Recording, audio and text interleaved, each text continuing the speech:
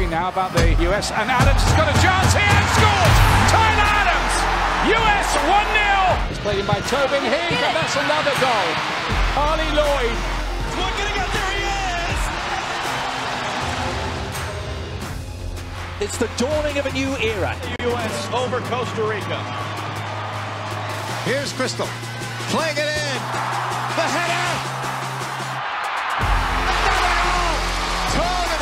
Long range shot from Fekir. Steffen had to make an important save. Dembele. Gotta be kidding me. Inviting ball in. And there's the first one. Good cross in for Tim Weah. The U.S. starting to have some fun here in Philadelphia. It's the last kick. The U.S. is going to France.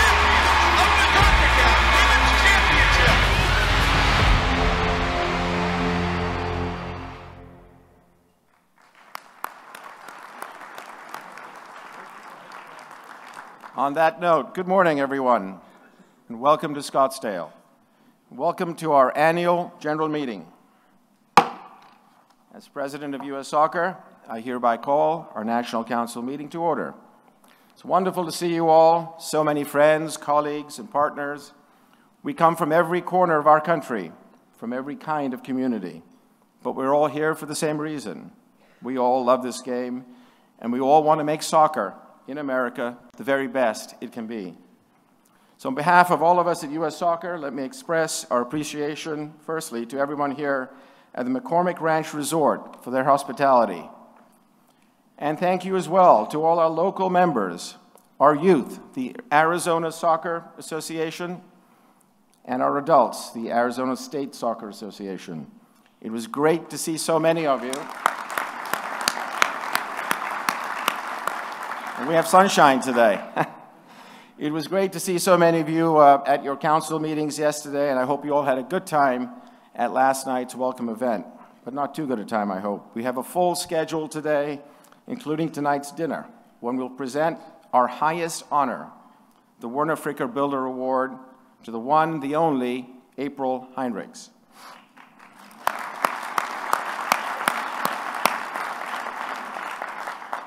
We have a, a, lot on our agenda this morning, so I want to get right to it. Here at U.S. Soccer, we're not just a federation, we're a family. And when, our, when a member of our family succeeds, we're united in our pride for them. And when we lose a member of our family, we're united in our grief. Could I ask you please to stand for a moment of silence as we remember and honor the friends and members of our soccer family who left us this past year?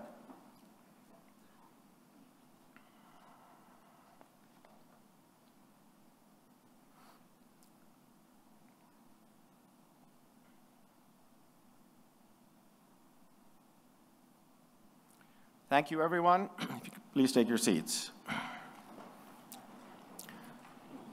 The friends we lost this year that's knew that soccer truly brings us together as communities, as a country, a country that has defend, been defended by patriots. And this includes military, military veterans on our U.S. Paralympic team, such as Gavin Sibayan. Growing up in Colorado, Gavin loved sports including soccer. He enlisted in the U.S. Army, attained the rank of Staff Sergeant, and deployed to Iraq. During a one-month period, his convoy was hit by explosive devices on three separate occasions. He is the recipient of two Purple Hearts.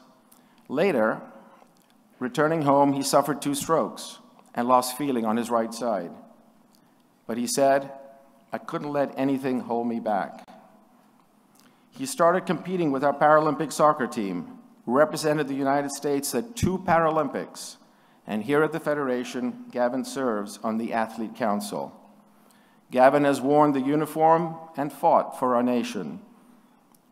He has worn the crest and played for our nation. And we're deeply honored this morning that Gavin is with us today. I'm going to ask you please to join me in welcoming and thanking Gavin and stand as he leads us in the Pledge of Allegiance.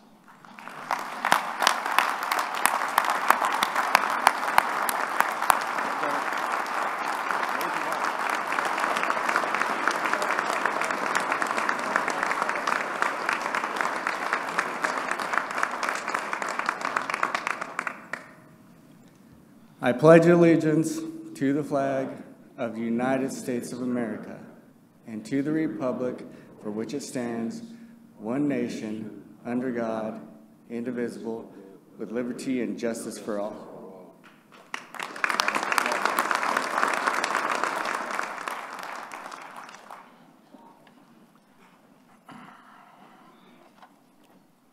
Thank you, Gavin, for your service to our nation.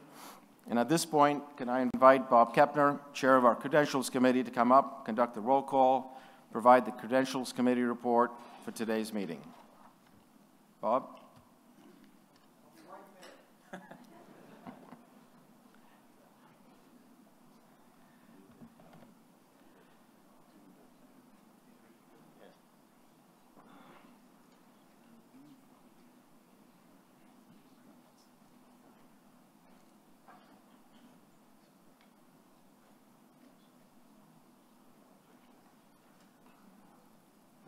I took my little detour because I wanted to say hello to Cindy Parlow Cone, who is originally from Tennessee, but now she is North Carolinian, and she's a favorite daughter of ours. So she is outstanding, and I just wanted to say hello. So welcome to Arizona, Cindy. It gives me enormous pleasure. Boy, this is a hard to play, see place in here, isn't it, Carlos? uh, it's always a pleasure to stand before you and to welcome you and also to explain how this all goes about. Those of us who've been around for a long time, remember before we had these little keypads and so on, we had cards and everything. Lots of the folks in this room remember that. For a number of years, we've had a special way of balancing the boats. Carlos emphasized that we're a family, and that's the essential element of our system for voting. We want every member of the United States Soccer Federation family to be a legitimate whole part of that family. And that's the basis for the voting system that we have.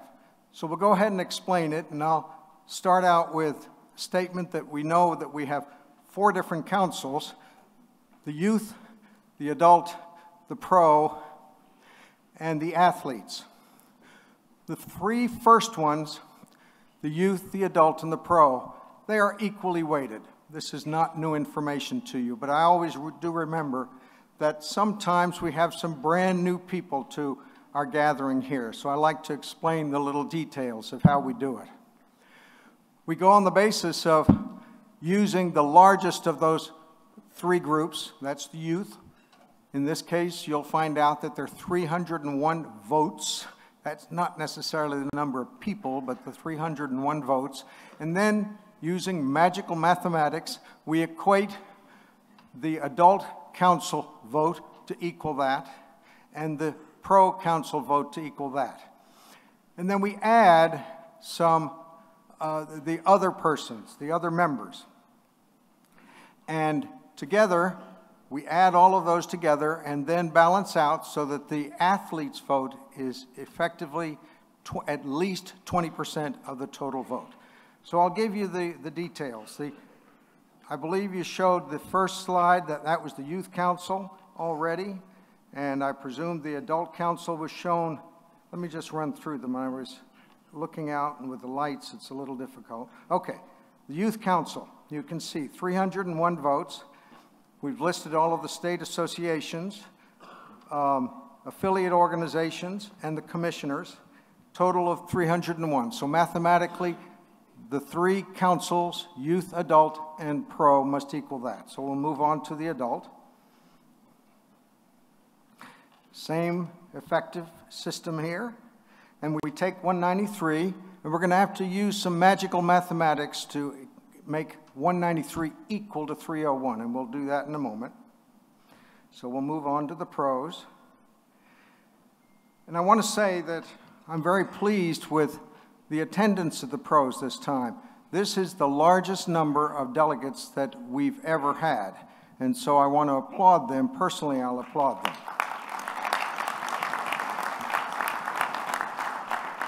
Being a part of the family and being part of the process is absolutely critical. We'll move on to the others, the next slide. And you see that we have the Athletes Council, 11 here, and uh, that's close to the number that we had last year. That was the, uh, the record that we'd had. That's very important. We'll move on to the next slide. And the other affiliates, and you can see national associations and such, other members total, 14, well represented. We'll move on. And then we have the life members, a critical part of our, our, our membership. Uh, these are folks who have done all of the things through the years to keep us, get us started and keep us going, so we appreciate their continuing to attend. Next slide. The board of directors and the past presidents. This, of course, is the first time we've had three persons listed in that past presidents category. So Bob Contiguglia, Dr. Bob, Alan, and Sunil now is the newest person. Sunil also does sit on the board of directors, but you see each person can only have one uh, vote for one entity, and so Sunil, although sitting on the board of directors, also votes, only votes as a past president. Okay, next slide. And then I talked about the fact that we have a multiplier situation. So you can see on the far left, the, all of those numbers, so it added up, those added up to 558. And then we have to equate the adult council and the pro council to equal the youth council. And then the athletes count, we add the 301 times 3 is 903, plus 36 is 939. And then 20% of the total mathematically of the 1181 is 242. So this is our system. The multipliers, and these are already in your individual keypads, and we spent time last night putting them out there on the tables at your spots. So the Youth Council, obviously one, Adult Council, you can see, I won't go through them individually. But each time we vote, this is the way it works. So thank you for that. I do want to say a couple of things here. Uh, Practice is very important in life. Uh, we do that in soccer all the time, I know. And um, you have keypads in front of you that look very complicated. If I could borrow yours, yes, it's, it's a horribly complicated item, but it has power. So I'd like you to pick it up, and we're going to practice the use of this complicated device. We have a special question that we want to ask you, and if we'll go ahead and display that question. Um, now, first I'll explain. Voting is live when the question appears on the screen. For bylaws, you'll select one for yes and two for no. You can change your vote until voting stops. And the way that we do it is I'll signal it by saying vote now uh, st or stop voting now. And it counts down five, four, three, two, one. And when it stops at that point, you've all, you had to have voted already. So you can see it's a uh, it's a very important thing. Let's go to the next slide. So here's your practice question. Have you ever attended a FIFA Women's World Cup? Push one for yes and two for no.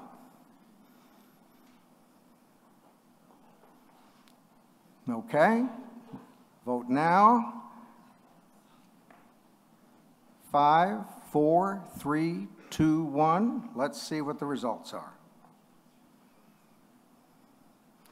And that's excellent. 43.2% say yes, and 56.8% say no. Now, as I looked around the room, though, I, as you were doing that, I, I saw some nervousness about how to use these devices. Uh, and, and, let me tell you a story. Last night, I mean, you know, the Credentials Committee uh, spends hours getting ready for these events. And practically spend the whole night. And I was out in the desert last night after we finished up in here. And lo and behold, unbelievably, two animals walked up to me. I said, What are you doing? Well, I happen to be the state mammal. And you can see the cat on the side there, number one, is the uh, ring-tailed cat. That's the state mammal of Arizona. The friendly little fellow on the right, number two, is a ridge-nosed rattlesnake. And those two fellows uh, slithered and walked up to me, And I said, What are you doing? Well, we're out here playing soccer. And I said, Okay, are you any good at it? Oh, absolutely, very good. And uh, the, uh, the cat said, When it comes to a soccer ball, I'm the best around. So they, uh, he certainly knew the, the shape of the ball. And the, um, the snake, the uh, rattlesnake said, I'm the hissed, I'm the best there is. So I'm going to ask you now to vote to see who, which of the two would win a penalty kick shootout, the ring-tailed cat or the ridge-nosed rattlesnake. Push one for the cat and two for the rattlesnake.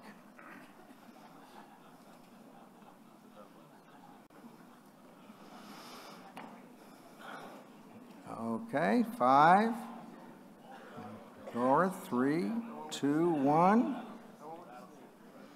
And let's see the result. Oh my gosh, the cat did it. Well, you know what the snake said? I tried my best to rattle you, but it just didn't work. the cat responded, I'm feline fine.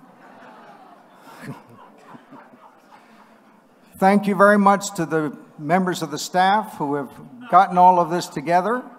Uh, Caitlin Carducci, Greg Fike, Lydia Walke, Pink Arena, and Liz Frazier, and the members of the committee, Siri Mullinix, Kathy Zolad, Demetrios Efstatu, and Tony Falcone, who have done a superlative job in getting this all done. I will now ask for a motion to accept the credentials report. I hear a motion. I hear a second. All those in favor, please say aye. Opposed, please say no. Motion carries. Thank you very much. Have a nice meeting. Thank you very much. Okay, on that note, thank you, Bob. Thank you to the entire Credentials Committee for your great work. Let's move on. Everyone should have received the transcript of our meeting last year in Orlando. And the, the meetings, the transcript was approved by the board as draft minutes and has been published on the U.S. Soccer website. If there are no further corrections, the minutes will stand as approved. All right, thank you. Moving on. Today, we can all take pride that soccer in America is more popular than ever, with more players, more coaches, more referees, more fans than ever before. And for this, we can thank countless leaders who have devoted so much of their lives to this sport and to our federation especially our distinguished life members. We're honored to be joined by some of them today. And if I can name them out, Gianfranco Baroni, Dr. Bob Contiguglia, Mike Edwards, Bert Hames, Gerhard Mengel, Francisco Marcos, and Hank Steinbrecher. Welcome. Please stand up.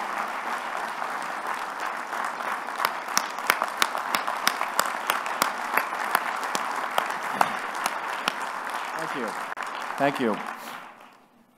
I'd also like to acknowledge and thank our past presidents. Not, I don't think Alan's here today. I haven't seen him this morning, but of course, Dr. Bob and Sunil Gulati to my right.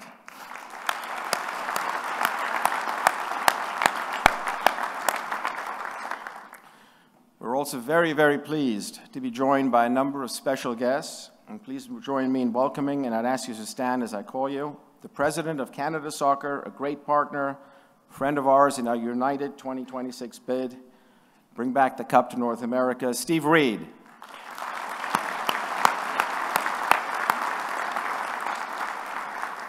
From UEFA over in Switzerland, head of national teams competitions, Lance Kelly.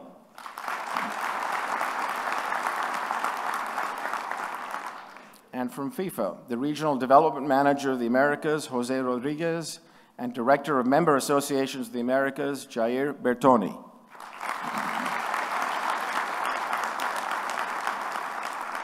And if I might add, Jose and Jair, we thank FIFA for its continuing support of all its member associations, including our own, particularly with programs like FIFA Forward. We're very, very grateful to you. Thank you.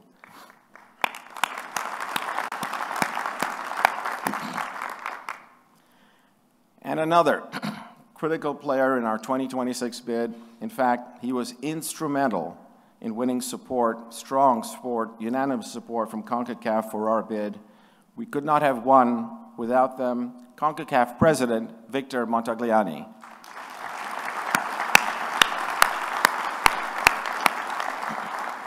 I'm delighted that Victor will share a few, words, a few words with us later this morning. On that note, let me turn to the President's report. A year ago, you gave me the incredible honor of serving as President. And once again, from the bottom of my heart, I thank you for this great, enormous privilege. It's been deeply humbling, and I'm grateful to so many of you.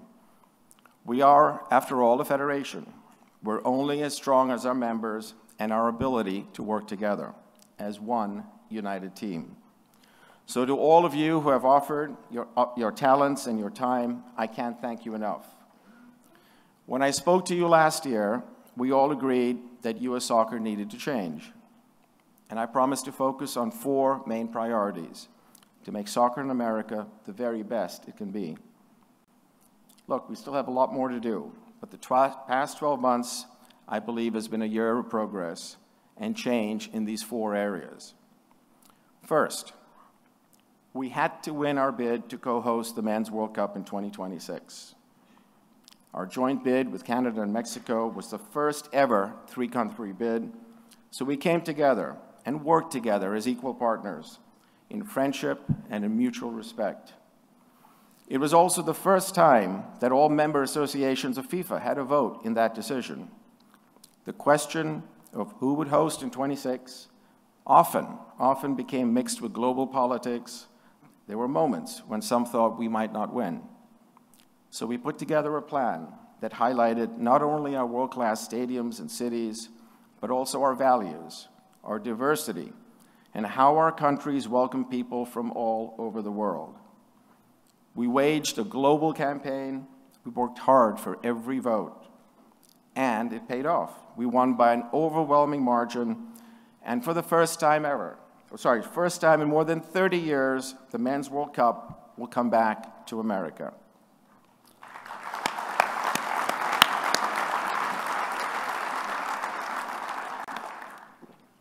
As I've said before, and I'll say it again, this will be an extraordinary opportunity to energize soccer in America, and not just in 26 but in the years leading up to it. Second priority, we agreed last year that our governance had to be more open, more accountable, more inclusive, with more oversight. And so it's been a year of reform. I made a point to communicate with all of you regularly so that you know what's happening at the Federation and why. We created two new committees, a technical development committee and a commercial committee so that the board now plays a greater role in all Federation activities. All six of our board committees are now under new leadership. Meanwhile, at Soccer House, we restructured our senior management to align with the board and improve that accountability. In fact, I'm pleased that we've now named nine of our 10 senior managers who report to the CEO, and we're moving ahead with our search for the first ever general manager for our women's national team. We formalized and expanded our membership department so that we're listening to and serving all our members better. All 12 standing committees, task forces, and panels have more new members than ever before, new voices and new perspectives from across the Federation.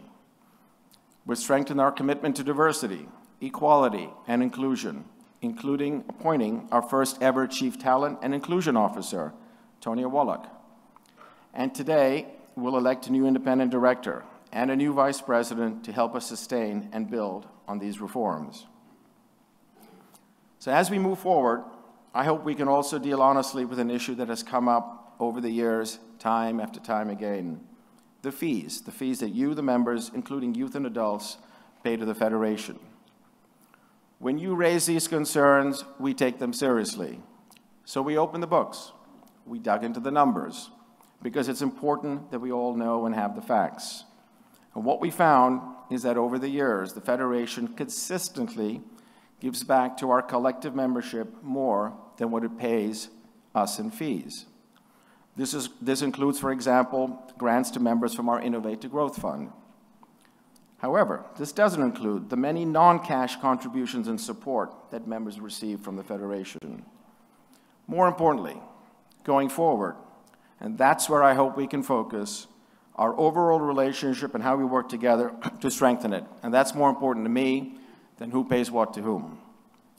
Of course, growing the game requires something else, growing our budget. And as you'll hear today, we propose to draw on our surplus so that we can increase our spending budget for this new fiscal year by 18% to more than $136 million.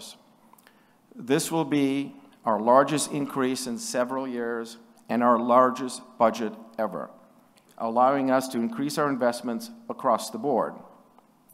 But that said, to truly compete with world-class programs like Germany, England, France, Spain, and others in Europe, we, which have budgets that are much, much larger than ours, we still need to do dramatically better.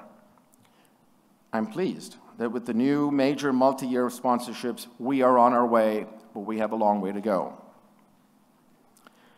I want to share one further thought on the relationship between the Federation and its members.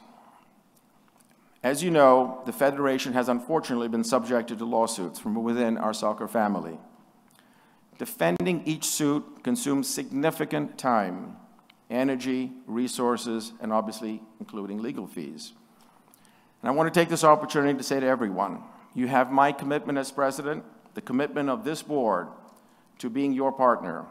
And it is my sincere hope that instead of rushing to the courts when there's a disagreement, we can work together through our differences amicably. Instead of paying huge, massive legal fees to, to lawyers, let's invest that money where it really belongs, in our players, coaches, referees, helping our teams achieve their highest potential. This relates to my third priority, truly investing in our national teams. We're making sure that from now on, soccer operations are run by soccer experts. On the men's side, I know that change hasn't come always as quickly as some would have wanted to. But between doing it fast and doing it right, we've, we've been determined to do this right, and we are. And we're thrilled, thrilled to have hired our first ever general manager for the men's, three-time World Cup veteran Earnie Stewart. Earnie,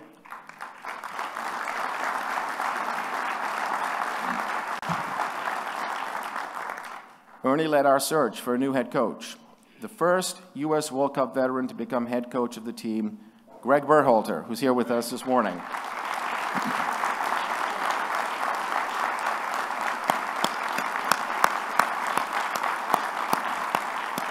Greg, I warn you, we're all soccer experts in this room. You're going to get a lot of free advice this morning. Um, anyway, we're delighted that both of you could join us this morning. But with a rising, a rising crop of young, talented players, the new culture, Greg, that you're introducing into the squad, we believe our men are poised for a new era. And what does that mean? Most importantly, defending this year their title at the CONCACAF Gold Cup. Best of luck. And what an amazing year it was for our women's national team. A historic 500th win, an undefeated 2018 winning the She Believes Cup and the Tournament of Nations and their sixth CONCACAF championship.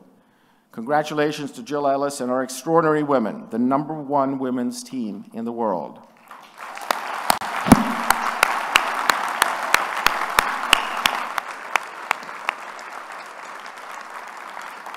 Jill couldn't be with us this morning. Uh, they're in Tampa. They're just beginning camp. But as they're starting camp and as they prepare for the next She Believes Cup, I want to encourage everyone here to get out, support our women as they get ready to defend their title at this year's World Cup in France and bring that trophy home again. But we can't rest on our laurels.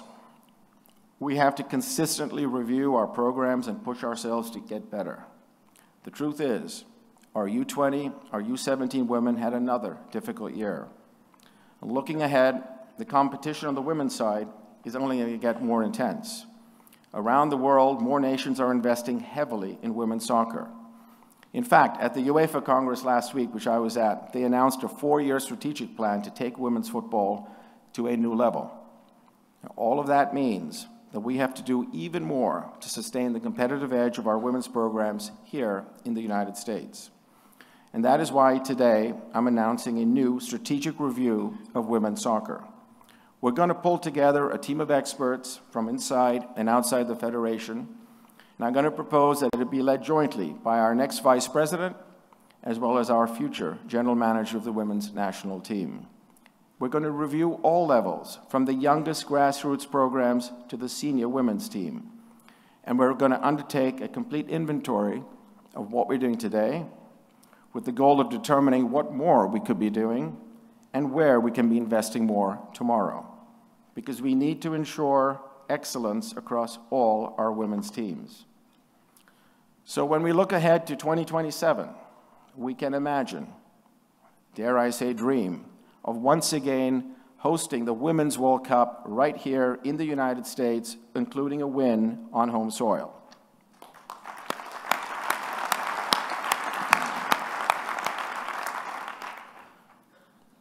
Beyond our national teams, we honor every athlete who wears the crest.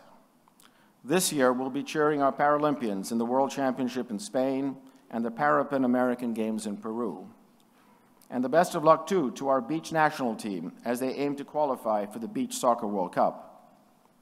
I'm pleased to announce that starting this year, for the first time ever, we will have a new department at U.S. Soccer focused exclusively on supporting our extended national teams, the Paralympians, beach, and futsal, with a dedicated budget starting this year at $2 million. Strong teams also depend, of course, on a strong and passionate fan base. Today, we're once again joined by members of our fan council, who I would ask to stand and be recognized. I'm not, sorry, I'm not sure where you are. There we are.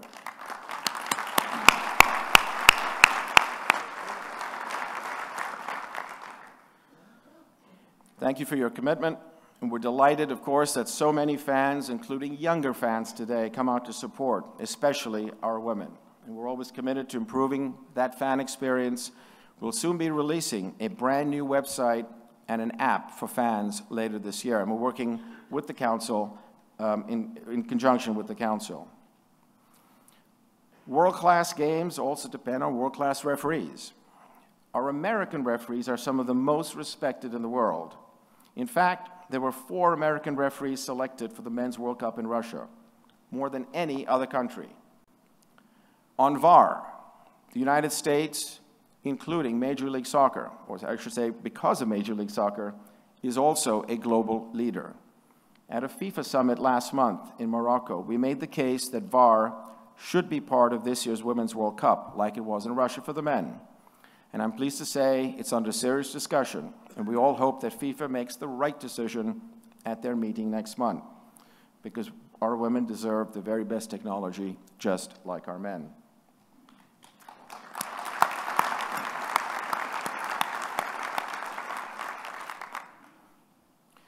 And as we see around the world, strong federations also depend, require strong domestic professional leagues. So we celebrate the success of all our professional leagues, from the NWSL heading into their seventh season, to the USL, including the new USL Championship, to the thriving Major League Soccer on track for 28 teams. And if anyone doubts the strength and future of soccer in America, they need only look at the most recent MLS Cup. It was the largest crowd ever. The future is indeed soccer. Congratulations, Don.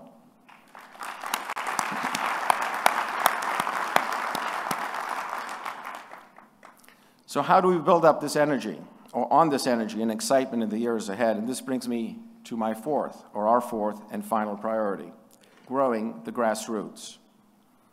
For the second year in a row, the Federation offered up to $3 million from our Innovate to Growth Fund to help our youth and adult members boost participation. And as I hope you all saw, we recently announced this year's recipients, and we congratulate all of them. But I do want to point out, and I'd be remiss if I didn't, that of 103 eligible members, only 20 applied for funds.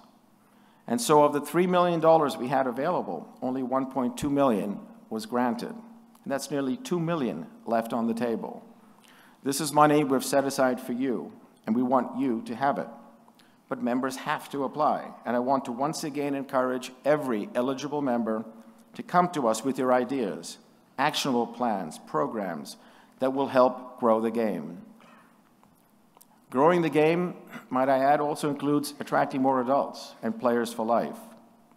I informed the Adult Council yesterday that we agreed with our friends at UEFA to inaugurate a new Amateur Cup between the champions of our USASA Amateur Cup and the UEFA Regions Cup.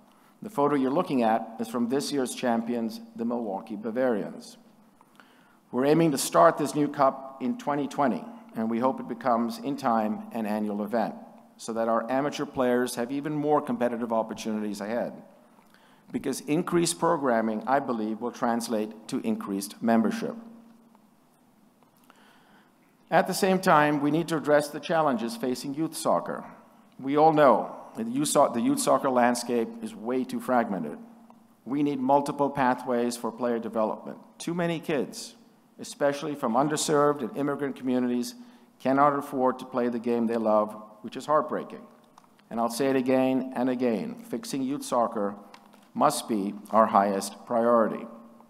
And that is why, for the first time ever, we've brought all our youth organiza organizations together in a single task force to address the many challenges facing youth soccer.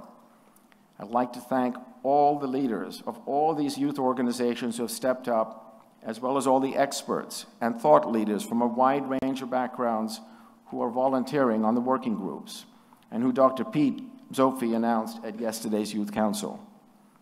They're tackling issues across the board, membership growth, diversity and inclusion, coaching, refereeing, risk management, and safe sport, and standards and certification. And we're just beginning to see those results. But with the Federation and all our youth organizations finally all sitting around the same table, aligned around the same common goals, this could be our best opportunity yet to put soccer in America on a new course.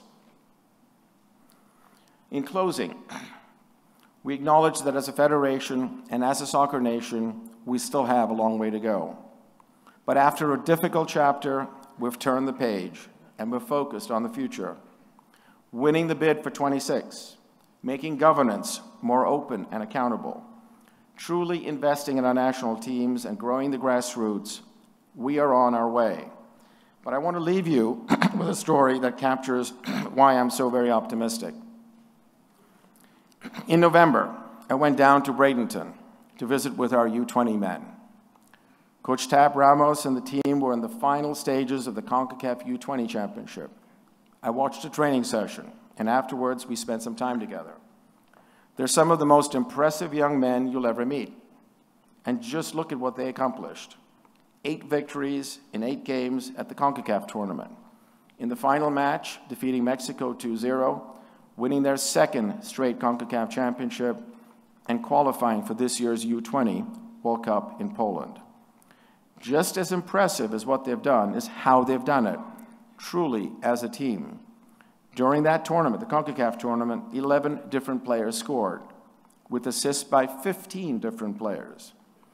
When I met with them, I was also struck by their incredible diversity. Young men from so many different backgrounds coming together on the field as one united team. When midfielder Alex Mendez was named the 2018 player, the Young Player of the Year, he spoke with humility about his family, that's Alex, his teammates, and his squad. And he said, None of this will be possible without them. And when Alex signed his first professional contract this fall at just 18 years old, he said, it's only the beginning. I'm sure all of you have your own stories about the hope and optimism that inspires and drives us forward. Serving and growing this game we all love so dearly. So to all of you here today, thank you for your partnership. Thank you for the progress we've made, this, made together. None of this would be possible without you. U.S. soccer is changing, but it's only the beginning. Thank you all very much.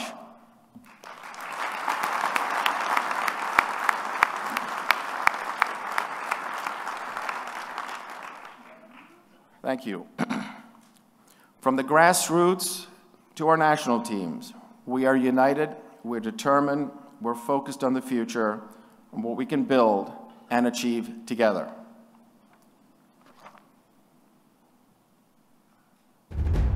We meet in an hour of change and challenge, in a decade of hope and fear. No man can fully grasp how far and how fast we have come. So it is not surprising that some would have us stay where we are a little longer, rest, await. This country of the United States was not built by those who waited and rested and wished to look behind them. And no nation which expects to be the leader of other nations can expect to stay behind. But we do not intend to stay behind, and in this decade we shall make up and move ahead. And they may well ask, why climb the highest mountain? Why fly the Atlantic? Because that goal will serve to organize and measure the best of our energies and skills. Because that challenge is one that we're willing to accept, one we are unwilling to postpone, and one we intend to win. We choose to go to the moon in this decade and do the other thing, not because they are easy, but because they are hard.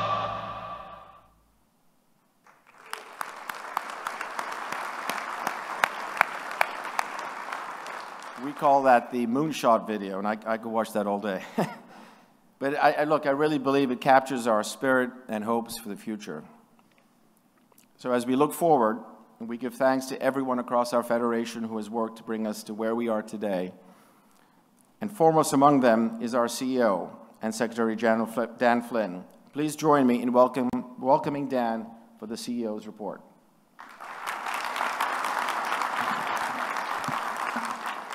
Thanks, Carlos, and again, welcome to Scottsdale, everyone.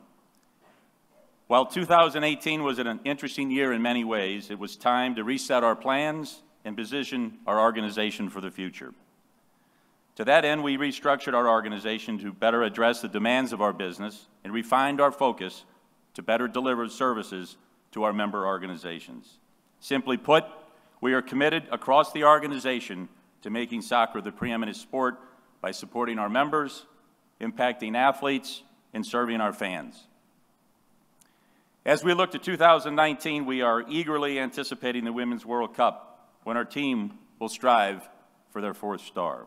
Jill has said many times we are not defending our title, rather, we are trying to win another one. For preparation, the team has an incredible slate of matches in front of them before traveling to France, starting with the She Believes Cup at the end of the month. The She Believes platform has grown to include the She Believes Summit, a gathering of top female leaders who provide ideas and case studies on how our sport can continue to inspire girls and young women to achieve their dreams. Turning to our partners, we're working with Nike, Fox, Coke, Johnson & Johnson, Secret, and Volpi Foods to make this Women's World Cup the largest promotional platform ever for the sport in this country. And in late May and June, it will be hard to avoid the excitement, the excitement around the games in France. The men's team will play in the Gold Cup in June, looking to win again as we did in 2017. Additionally, this fall, the team will participate in the inaugural CONCACAF Nations League, looking to advance to the Final Four next March. With a young player pool, the learning curve will be steep, but we are encouraged by the first two matches of this year. On the youth side, the men's under 17 qualifying tournament is in May and the World Championship in the fall. And as Carlos mentioned, our men's under 20s have already qualified for their World Cup in Poland. Of course, developing world-class players takes time, and our long-term efforts continue as we improve our coaching education platform with more courses and digital access in both English and coming soon, Spanish language grassroots courses. We have seen an increasing number of young players get playing time in Major League Soccer and Europe, the result of the, of the development efforts of clubs across the country. So thank you for your commitment to the player development process. But before a player competes at the professional level, they have to start somewhere. This is an area that we have been studying for the past two years, and one that together we need to continue to focus and tackle, and that's participation. While the sport has grown in nearly every aspect, registered players have been flat for a number of years. Providing a positive environment at the entry level and providing an aligned pathway for players to progress in the game is critical to attract and retain players. At last year's member meetings, we shared the details of extensive research we have concluded in this space, and we look forward to continu continuing to discuss this subject at this year's sessions, which will take place in April at the new National Soccer Hall of Fame in Frisco, Texas. Your participation and commitment to these meetings makes a difference. I'd also like to acknowledge the work being done by the Youth Task Force. We now have six working groups, as Carlos mentioned, including one dedicated to creating solutions for our collective desire to grow the youth and the adult membership across our country. This is important work, and I'd like to thank my co-chair, Cindy Cone, and all of the other people who are supporting this effort. We have been working, with our, working hard with our partner, Soccer United Marketing, to increase corporate support to improve our ability to spread our brand message and connect to fans. And the start of 2019 has seen us add Volkswagen as our first ever presenting sponsor. This unique partnership will see us connect to fans across the country and extend our education and development initiatives through the Volkswagen One Goal program, which is designed to support U.S. Soccer's focus on delivering inclusion and accessibility to players, coaches, referees, and fans of the sport. We have also added Deloitte to our blue chip roster of commercial partners. Furthering our efforts to connect to fans in deeper, more meaningful ways, we will launch an entirely new digital experience for U.S. Soccer this spring. With our first ever fan-facing app and new website, we will exponentially increase our ability to connect to fans in deeper, more meaningful ways and provide unique experiences that only we can supply. This year, we will expand our Open Cup broadcast coverage and we'll be soon announcing a deal with one of our partners that will provide an unprecedented level of access for fans during the entire competition. Finally, a number of years ago, we focused on diversity within our staff because we believe that having a diverse workforce accelerates our ability to achieve our mission, that different points of view allow us to see the world more clearly and with a greater understanding. To that end, we have significantly increased the diversity of our workforce through thoughtful and targeted efforts at recruiting and retaining talented women and people of color. At the same time, our national teams are increasingly diverse, reflecting the evolving demographics of our country. This is and will continue to be an area of opportunity for us as an organization and for our sport as a whole. As I mentioned earlier in my remarks, we continue to see value creation at the commercial level.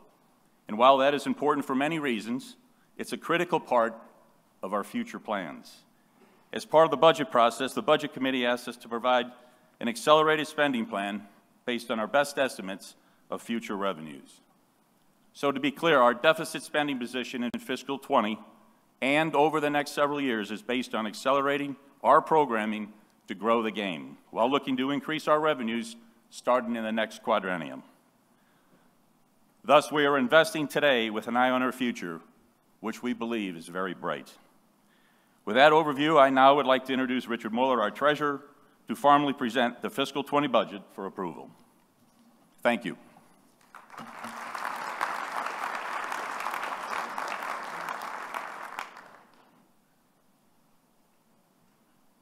Thank you, Dan.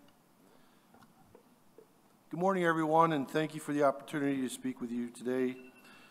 You have in your AGM advanced materials the proposed budget for fiscal year 2020. As this was my first year as the chair of the Budget and Finance Committee, I wanted to give you a sense of the process that we go through as a committee to create the budget. We start with our strategic plan, which is driving us towards our mission of making soccer the preeminent sport in the United States. The Federation is in year two of a five-year enhanced investment plan, which has us operating in a deficit position. This is planned through 2022 and is designed to increase our performance on and off the field as we look to renew our commercial agreements beyond the 2022 timeframe. This August, or past August, we started a budget process by reviewing the five-year framework from the Board of Directors, discussing the key revenue and expense drivers in the context of the framework, and then looking more closely at fiscal year 2020 and the drivers and opportunities that we would project. In October of last year, we had more granular discussions of the fiscal year 2020 drivers, opportunities, and tied that into how we are going to measure efforts so we can track our progress. With these parameters in place, the staff continued to work on creating the budget. So you have the committee and the staff working on this. It's very, very, very uh, big process. Then in November, we had our final discussions and review of the fiscal 2020 budget in its entirety, along with how it would fit into our five-year investment plan. After an in-depth conversation, the Budget and Finance Committee voted unanimously to recommend approval of the budget to the Board of Directors. In December of last year, the Board also unanimously approved the fiscal year 2020 budget. With that background, I want to call out a few of the highlights of the budget itself. Number one, the Women's World Cup. This will be our largest investment and activation to date around the competition. Number two, digital infrastructure. We unveil our new digital platforms, both website and an app which will connect us with the fans like never before.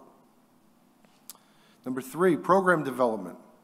The continued evolution and expansion of our stakeholder area, including international relations, referee program evolution, licensing, education, and evaluation, continued evolution of our youth national teams program, and an integration with our player development programming.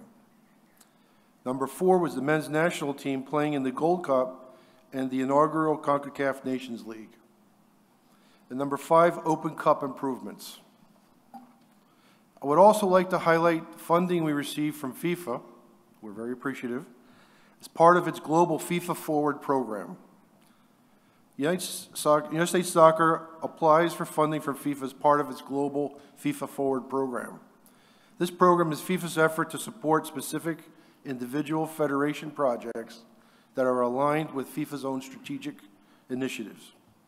For the three-year period 2016, sorry, 2016 2018, with the support and guidance from FIFA, we have received $2,250,000 that went towards several projects which include the following. The development of four online grassroots coaching courses. That was $535,000. The development of an online grassroots refereeing course. That was $587,500. Our first Girls Academy Director course. That was $196,458. The development of an Academy Summer Showcase which supported players, coaches, referees, high performance, and scouts, $397,005. The Development Academy Winter Showcase, which also supported players, coaches, referees, high performance, and scouts, that was $515,425. So as part of FIFA's forward commitment, we are required to submit to a statutory audit, which as you know, we conduct on an annual basis as well as a FIFA Forward programmatic audit, including multiple impact and milestone reports for each project that we do. I'm pleased to report that we received very high marks from FIFA on the programmatic audit and are in full compliance with all requirements. Moving forward, the staff at Soccer House will continue to manage this program heading into a new FIFA Forward 2.0 funding period for the years 2019 through 2022. We will report back to the National Council each year or as necessary to confirm the status of our FIFA forwarding uh, funding. So all in all, the budgeted deficit for fiscal year 2020 is similar to that of fiscal year 2019. For FY20, we are budgeting a deficit of $14,263,320, while in fiscal year 19, we were projecting a deficit of 13 million. 697 and $629. We're investing for the future. Overall, the Federation remains in excellent financial shape and will continue to be in the future. I wanted to thank the committee for the work on the budget. I'd like to make a special announcement of some of the members. Carlos Bocanegra, Steve Malik, John Motta, and Dr. Pete Zopfi. I also want to thank the staff U.S. Soccer for their work on this process. And finally, I wanted to take a minute to introduce our new CFO of U.S. Soccer, Pinky Raina. Welcome.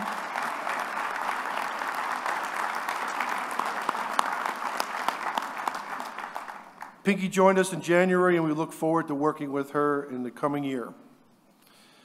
Now I would like to call for a motion to approve the FY20 budget. Actually, hold on a second. Uh, Thank you for your support. It's not, it's not I that could do this. I have to bring on someone else. Sorry, when I have a microphone, I always want to like sing like karaoke or something, so this is a little bit weird. This is not the time. I know, definitely not the time. U.S. Soccer Senior Counsel Greg Fike will be presiding over the membership approvals process. Um, I'm sorry, I- I I apologize. Yeah, sorry. All right. It's my first time. So uh, I would like to get a motion to approve. We have so moved. Do I have a second? All in favor? Anyone opposed? Okay, thank you very much. Appreciate your time. Thank you for your support again, and uh, thank you all on the Budget Committee for all your help. Um, U.S. Soccer Senior Counsel Greg Fike will be presiding over the membership approval process now. Greg, if you'd like to come up. Thank you. Thank you.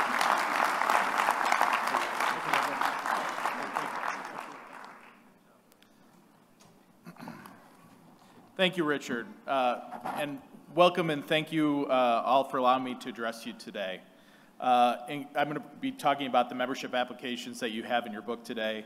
Included in your book of reports that was previously distributed, there are three membership applications that have been previously been approved by the Board of Directors. The first application is from ANFEEU to be an other affiliate member of U.S. Soccer. The second application is from U.S. Youth Futsal to be a national affiliate member of U.S. Soccer. The third application is from the United States Association of Blind Athletes to be a disabled service organization member of U.S. Soccer. In order to recognize each of these potential new members, we will address each of these applications separately. Membership applications require approval of the majority of the National Council. Unless there is an objection, we will handle the membership applications by the general consent process. If any representatives are present uh, from the applicants, they will have an opportunity to speak during uh, Good of the Game. So the first membership application is for ANFEU to be an other affiliate member. They were approved by the Board of Directors as a provisional member about a year ago. Since that time, they have added a few additional uh, leagues in additional states. Unless there is an objection, ANFEU's membership will be approved by the general consent. Hearing no objection, let's welcome ANFEU as a member of U.S. Soccer.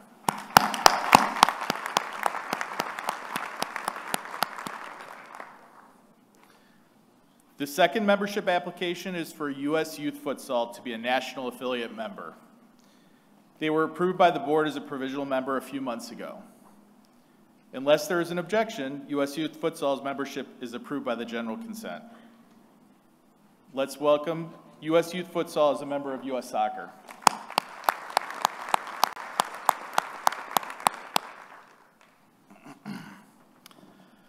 Last but not least, the third membership application is for the United States Association of Blind Athletes to be a disabled service organization member of U.S. Soccer. They were approved again by the board uh, as a provisional member a few months ago. So unless there is an objection uh, to the Blind Athletes, uh, United States Association of Blind Athletes membership is approved by the general consent of this body. Hearing no objection, let's welcome them as a member of U.S. Soccer.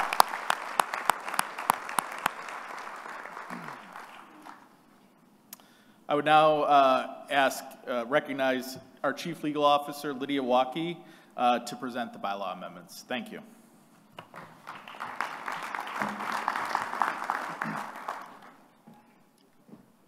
Thanks, Greg. Included in your book of reports in section six are a series of bylaw amendments.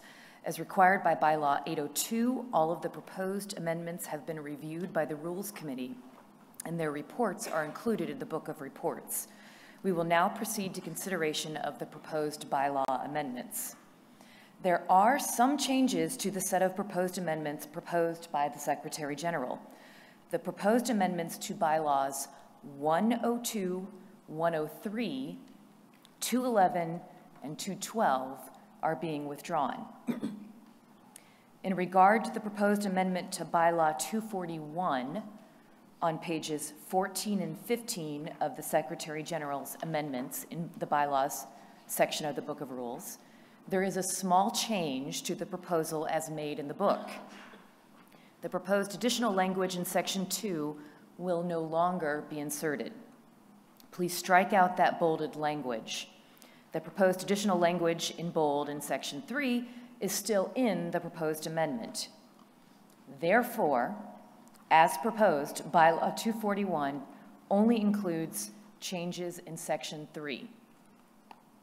All of the amendments proposed by the Secretary General are recommended by the board. it is proposed to consider all of the amendments proposed by the Secretary General together en bloc under the consent agenda procedure. These are the proposed amendments to bylaws 241 with the change mentioned earlier, 402, 411, 431, 541, and 708.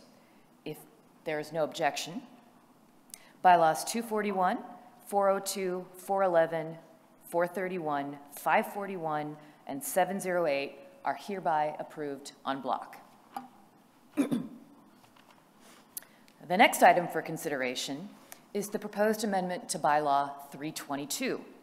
The amendment is proposed by the Athletes Council and it is included in your book of reports in the bylaws section after the Secretary General's proposals. The proposal is to change the term of the athletes' representatives on the board from two years to four years. The proposed amendment has been reviewed by the Rules Committee and their report is included in the Book of Reports immediately following the rationale for the proposed change. This amendment has also been recommended by the board. Is there any discussion? Okay. The question is on adoption of a proposed amendment to bylaw 322 as found in the bylaws section in the Book of Rules. The motion requires a two-thirds vote for adoption and the vote will be taken by keypad. Are you ready?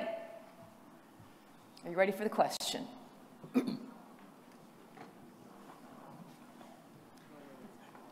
Mr. Kepner, please proceed with the vote. You can begin voting.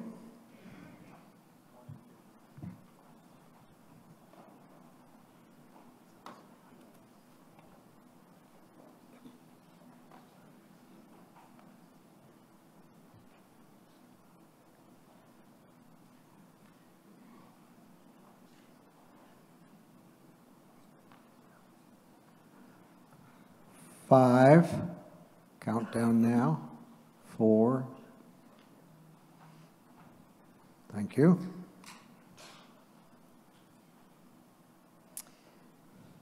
The vote is 91.7% of the weighted vote in favor and 8.3% opposed. Uh, therefore, there are two-thirds in the affirmative, and the motion is adopted. Bylaw 322 is amended as proposed. Thank you. The next item for consideration is the proposed amendment to bylaw 413.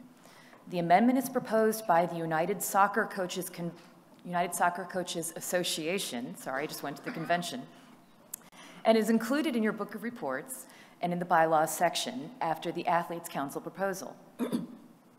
the proposal is to change the eligibility and voting requirements for the at-large position on the board of Directors.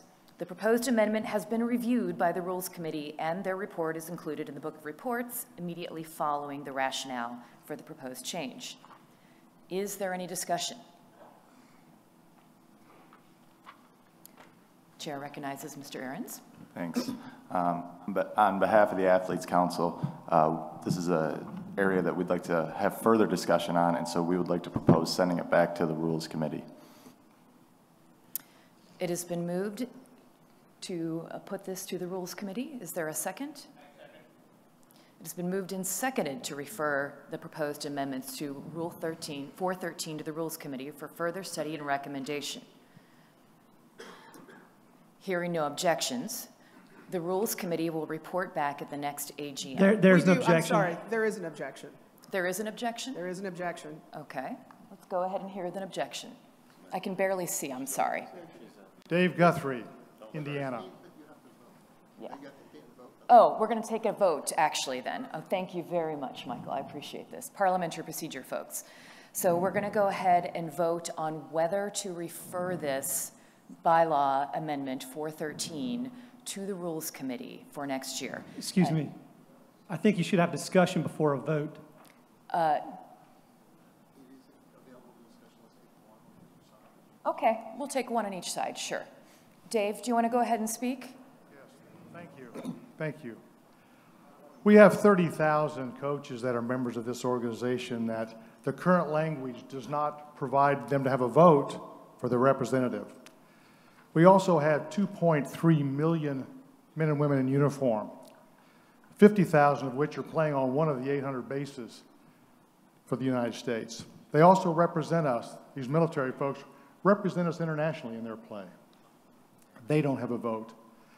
Now, as this body, I've been here for now 20 years, and we've had a lot of discussion, we've had arguments, sometimes more spirited than others.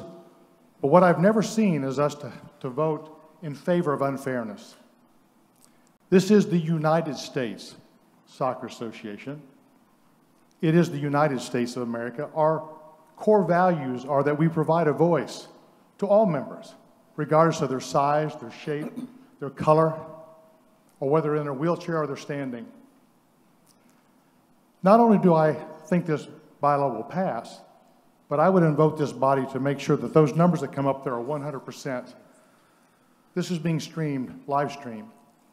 Of those 2.3 million military folks and the innumerable number of folks who have worn the uniform, many of whom are in this room, I would not only invite you to stand or to vote in favor, but I would invite you to stand and show our appreciation for not only their membership, but for their courage and their service.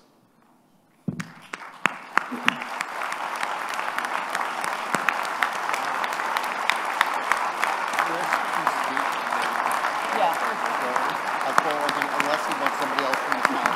Say, first, do you want to speak? Why don't I, Favor- let me let Lynn speak, and then I'll say we've had two pros and you'll come. Lynn? And I am Lynn Berling Manuel. I am CEO of United Soccer Coaches. And actually, we brought this amendment forward originally not because we expected it to be easy, but to quote John Kennedy, because we thought it would be hard. And the reality is, is that I appreciate the Rules Committee's concerns and I appreciate the Athletes Council's concerns. We respect everyone in the job that they do. However, we had um, prepared in advance a amendment to the amendment that slightly narrowed the scope to address the amendment to address the Rules Committee's concerns.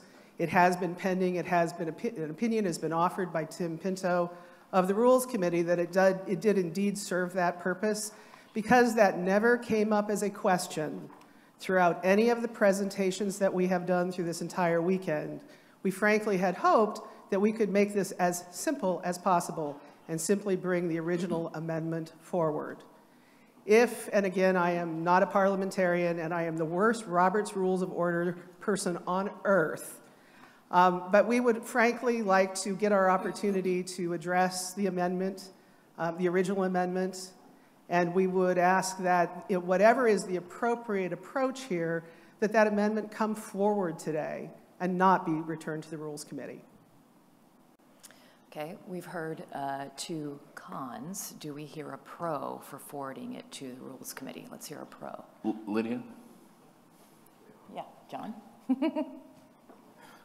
Hi, John Collins. Um, I happen to be the at-large director on the board, um, but I will note that I'm not seeking office again, so it doesn't impact me. Uh, so I'm not conflicted on this point. Um, couple things, or three things maybe.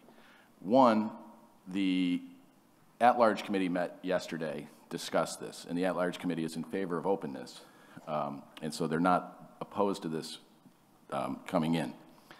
That said, in the context of that discussion, there were a number of issues raised as to how the votes are weighted within the at-large committee and the at-large group discussed having a conversation over the next year to figure out how the vote should be weighted. So it is already undertaking its own look at bringing something back to this board or to this body, uh, possibly next year to do it. Um, with respect to the bylaw proposal that it's up now, under our bylaws, if it were passed today, it would not become effective until May 1st. So on a practical level, the, even if it's passed today, the election for this seat, which is to happen between now and March 18th, they would not be participating in because of how it, the implementation of our rules comes. So moving it to the Rules Committee to look at for an extra year does not have an actual practical effect with respect to this year. Um, so, and, and then today I have heard some issues were raised because, uh, and nobody has an issue with the military coming in and voting and anything like that. The Coaches Association, they understand the coaches are here. Many of the coaches are represented, some are not, some are high school and college coaches, and they think a discussion with respect to having coaches represented is an important discussion to have as a body. Whether it's to vote for this position or to vote for something else, it's certainly something to be there.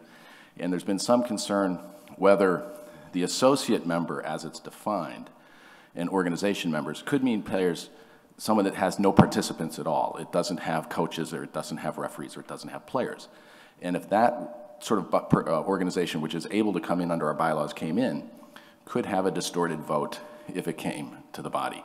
So with those issues in mind, um, the athletes came to me this morning and told me that they had issues with it. I've heard others have said they have issues with it. So it has nothing, moving it to the Rules Committee would have nothing to do with in, in negative comment in any way with respect to the U.S. coaches, United, sorry, I know you don't want to know.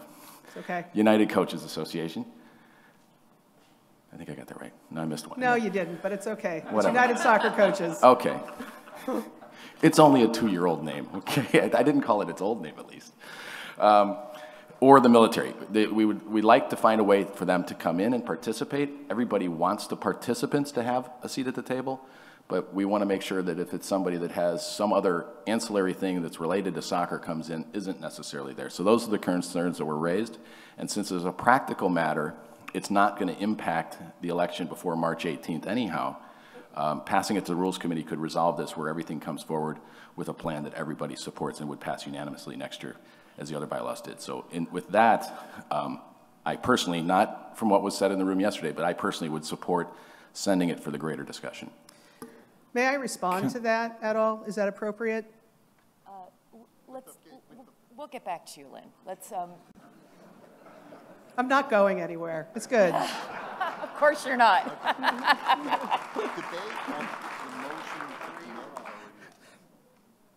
Come up here, girl.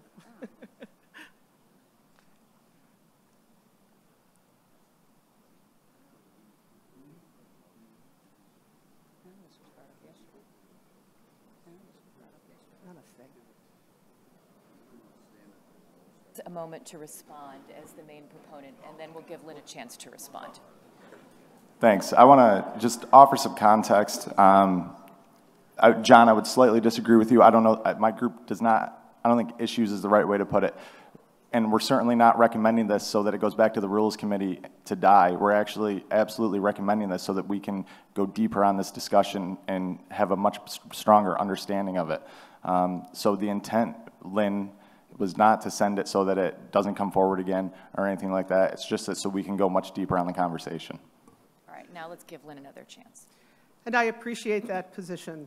However, I believe that, um, again, and I've spoken with many of you, and my colleague here is Marine Lieutenant Colonel Jennifer Farina, who address, excuse me, who represents the U.S. Armed Forces Sports Council. We are the two members today. It could be, it was more in the past, it could be less in the future but we represent a category of membership, which is associate members, as John has pointed out. During the course of this last two days and in the weeks preceding it, since the amendment was presented, none of these issues were brought forward other than the Rules Committee statement. I appreciate the concerns. Um, we don't believe those are valid, frankly, and quite honestly, what we would ask for is still to proceed with this specific vote today. John is correct. There will be a larger conversation by the at-large group. um, regarding weighting of votes as we go into the future. And that was discussed going into this amendment process. It was decided by the at-large group, which is honestly the only group that is affected with this motion, or excuse me, with this amendment, that really they were separate conversations. We are two members of this association, long-term members. We have the ability to vote and have done so for the budget this morning. We have the ability to vote for bylaws, which we have done so this morning. We have the ability to vote for officers. We have the ability to nominate board members. We have the ability to run for this board position. The only ability we do not have is a single vote for the board position. So we appreciate the concerns. Um, we have found most, none of the members we have spoken to have addressed them. And again, we would ask for this not to go back to the Rules Committee, but to be voted on today.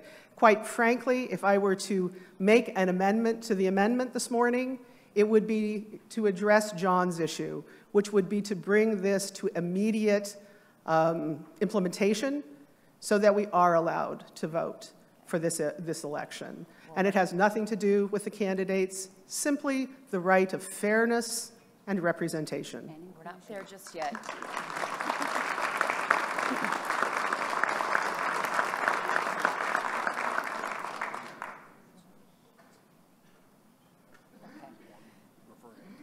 Okay, so we're not actually voting on the bylaw amendment now, so let's Correct. go ahead and see if we can take a vote on whether or not to refer it to the committee. So, Excuse me, I'm sorry. Uh, My name is Andrew Hiley. I'm with United Soccer Coaches Board of Directors. Lynn has also made a motion to amend our proposal. uh, we're not there yet. Okay, but What's our motion table- takes precedent over the motion to indefinitely suspend. No, it doesn't. Under And- Robert's Rules of Order, it does, which is what governs in this assembly. It's a motion to refer, a motion to refer, it's a higher priority. Our parliamentarian is telling me that a motion to refer has a higher priority than a motion to amend. I understood it as a motion to suspend indefinitely that was made previously? No. Okay, No. all right. No. So, all right, so let's go ahead and proceed. Again, we are not voting on the amendment itself.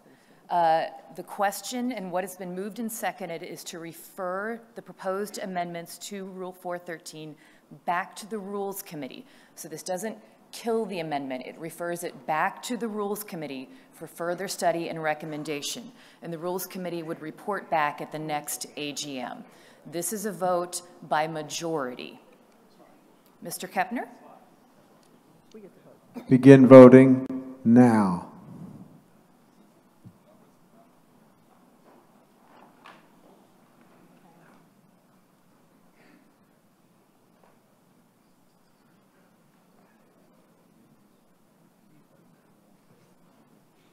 Countdown five.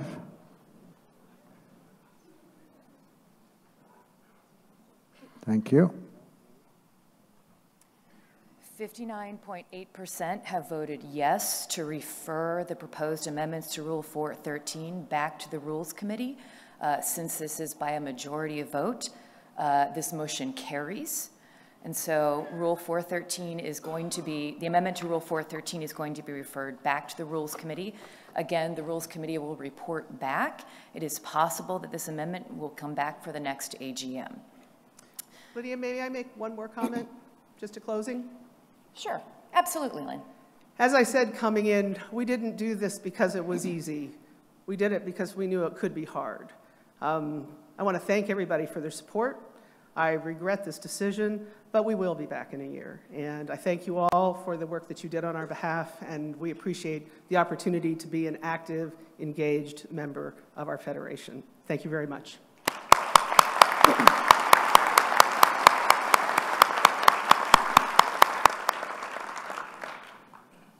Chair recognizes the young lady here. Thank you. Um, I appreciate the support. It's been an interesting uh, conference this year because it has taken on a different direction. Last year I was here, I chose not to wear the uniform, and I have all right to wear the uniform.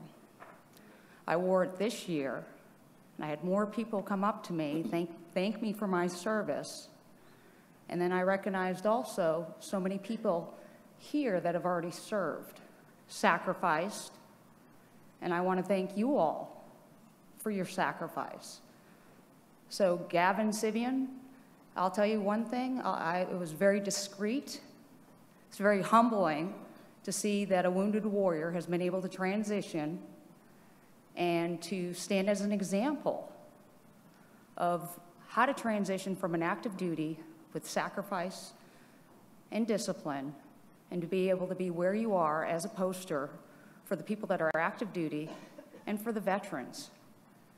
And I say this because the angle that we've taken is inclusion, grassroots, representation, commitment, and as a Marine, honor, courage, and commitment.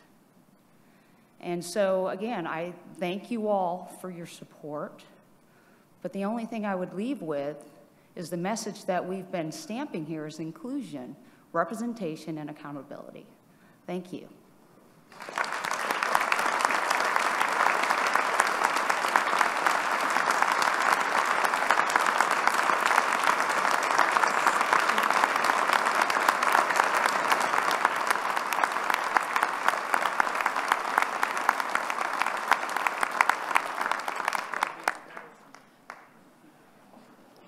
Before I proceed, I just want to thank you both for that show of, of grace, really, in the face of defeat. And I think that's something that all of our young athletes can learn from. So bravo to each of you. This concludes consideration of the proposed bylaw amendments. The next item of business is consideration of the ratification of policies. So the chair is going to recognize Senior Counsel Greg Fike.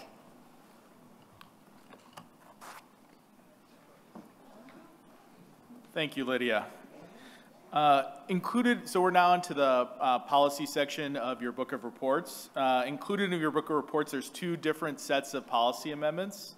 The first uh, uh, of the two are two versions of policy 414-1 uh, proposed by John Collins and Tom Moore from California North respectively. the second are a set of policy amendments that have been approved by the board throughout the last year. We'll, we'll go ahead and take them in order. Uh, there's a slight change for policy uh, 414-1. As you may have, as some of you may have heard uh, yesterday, uh, the board approved a slightly different version than either of the proposed policies in your book uh, that were originally included. This uh, came from a compromise between the two proponents of the amendments, Tom and John. we have policy 414-1 as approved by the board ready to show on the screen. Can we please put that policy on the screen? Greg? Yep. Uh, as a point of order, since the 414 ones that were proposed uh, by Tom and I have been merged and then approved by the board, they're now active policies. Uh, I would withdraw the one that's in the book with respect to mine. I believe Tom is doing the same and, and will speak with respect to supporting the one that the board has actually passed. Thank you. Yeah, John, and I, will be happy to open it up. I want to give you a second to read that on the screen. I think you have it. So this, this policy is the one that will be now, now considered. I'd like to recognize Tom, if he could come to the uh, microphone uh, to address the issue. Thank you. Thank you very much, Craig. Appreciate it. Um, so, uh, first of all, this is a compromise, and uh, given the way national sometimes state and even local politics go nowadays, where a lot of folks get entrenched and don't compromise. I think in this instance, we would uh, owe to John and Greg and Carlos and indeed the entire National Board of Directors uh, perhaps a round of applause for choosing to compromise and come to an issue uh, that I think will benefit all of us. So if I might offer first a round of applause for them for doing a compromise. Thank you. So if it's not out of order, I'd like to move to approve the affirmation of the new policy 414-1 as recommended by the National Board of Directors. Motion is uh, in order. Uh, is there a second? Second. Second. Uh, the, um, the policy 414 is approved by the Board of Directors will now be considered. So unless there's an objection to policy 414-1, it will be ratified by the general consent of the body. Hearing no objection, it is ratified and approved. Thank you. You're welcome. Thank you, Tom. So the second set, as I mentioned earlier, were the policies that were previously approved by the Board of Directors. Uh, they're included in your book of reports. Just for uh, good order, I'm going to go ahead and, and list the which policies those are. Uh, the policy 1024-1, uh, the Lamar Hunt U.S. Open Cup policy. Policy 401-1, USSF nomination and campaign process for the USSF president and vice president. And uh, importantly, uh, all of them are important, but this one especially, policy 212-3, U.S. soccer athlete and participant safety policy. So the question before the body is whether to ratify the policy amendments that were just identified. Unless there's an objection, the policy amendments uh, just identified are ratified by general consent. Thank you very much. Carlos, the chair is yours. Well, thank you, Greg, Lydia, Richard, and Dan. As you all know, our federation and our board of directors benefit from the service and contributions of independent directors. Our independent directors are selected because they bring unique experience, expertise, often from the private sector, that help make our federation even stronger and more effective. They are truly independent. They do not represent any member of our federation. They are tasked with providing impartial advice and counsel. I am very grateful that you gave me the opportunity to begin my service here at the Federation as an independent director. Over the past couple years, two years actually, we've benefited from the contributions of Val Ackerman as an independent director. Val's voice and perspectives have been greatly appreciated. And while Val has decided not to seek a second term and was unable to join us today, we wish her the very best and we thank Val for her valuable contributions to U.S. soccer. So today, we're considering a candidate to fill this vacancy. At the board level, our nominating and governance committee, along with an independent outside firm, conducted a rigorous search and reviewed and interviewed numerous candidates. The committee presented its recommendation to the board, which accepted it and now presents this candidate for your consideration. Let me first thank John Collins and the members of the committee for their commitment and diligence in this process and for putting forward such a strong candidate, Patty Hart. Patty, who joins us today, has more than 40 years of private sector experience. She's a highly respected leader in the gaming industry. She's helped grow and lead major companies. And with her, her experience as a business leader and as a CEO, Patty brings deep expertise in technology, entertainment, and gaming, and a passion, I might add, for sports and soccer all of which make her an ideal candidate for independent director. She will also be our first chair of our commercial committee. So, with that, all those in favor of the election of Patty Hart as an independent director, please say aye. aye. Any, any opposed? Well done. Ayes have it. Congratulations, Patty. And on behalf of all of us, welcome to U.S. Soccer.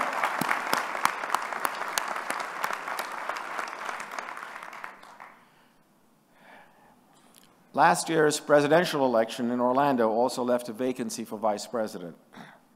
In accordance with our bylaws and our policies, the nomination process for vice president was public and opened in November, closed in December. One candidate completed the nomination process, Cindy Parlow Cone. Now, I'm not going to spend a lot of time reciting Cindy's lifetime of experience. We'd be here all day. But as an active member of our soccer family for more than two decades, many of you know her well. As a player, she helped lead our women's national team to a World Cup victory in 1999, to two Olympic gold medals after that. And as a pro, she helped pioneer and play in our first women's professional soccer league, the WUSA. As a coach, she has mentored and developed players at nearly every level including the NWSL as the first coach of the Portland Thorns, winning that league's first ever championship seven years ago. As a member of our federation, she has taken on numerous responsibilities, including as a past member of our board representing the Athlete Council. Today, she continues as a non-voting advisor to our council, Athletes Council, and as a co-chair with Dan of our Youth Task Force. And for her life of achievement, we were thrilled, thrilled this past fall to induct Cindy to the National Soccer Hall of Fame. Cindy, we're very grateful that you have submitted your nomination to take on even more responsibility in helping to lead this federation. This election is to fill the remaining one year of the current term for vice president. At our AGM next year, there will be another election for a full four-year term. So, since we have only one candidate for this office, we're going to conduct this election by voice vote. All those in favor of the election of Cindy Parlow as vice president, please say yes or aye. aye. I think the ayes have it. Everyone, please join me in welcoming our new vice president of U.S. Soccer, Cindy Parlow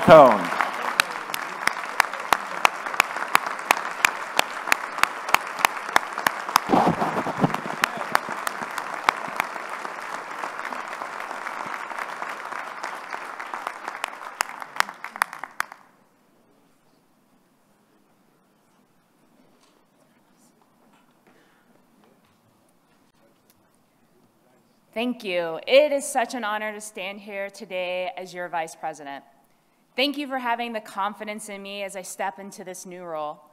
I am passionately driven to positively impact our game at all levels and across all demographics. And just so you know, I will lean heavily on you to help me do that because this is a collaboration among all of us. My objective as VP is to be an active an impassioned advocate for all of you who move and develop our game on a daily basis. I believe that with my extensive knowledge of and experience working in the soccer landscape, landscape of our country, from grassroots to the international level, I can help us continue to build, develop, and grow soccer in the U.S. Together, we will improve the experiences of everyone in our great game. I look forward to working with all of you. Thank you.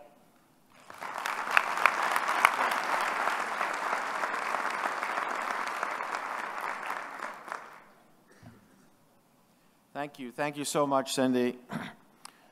With her experience as a player, a coach, a leader, a friend to so many people across our federation, I can't imagine a better person for this job. And let me just say, as president, at a very personal level, Cindy, how grateful I am that you've taken on this role to include, as I mentioned earlier, taking the ta agreeing to help lead our new strategic review of women's soccer. So we're truly, truly excited to have you on board. Let me also note a couple other changes at the board, here at the Board of Directors. As her term comes to an end, I ask you to please join me in thanking Angela Hucles for her valued service as an athlete representative on the board and for co-chairing with Carlos Bocanegra of the Technical Development Committee. Th thank you, Angela.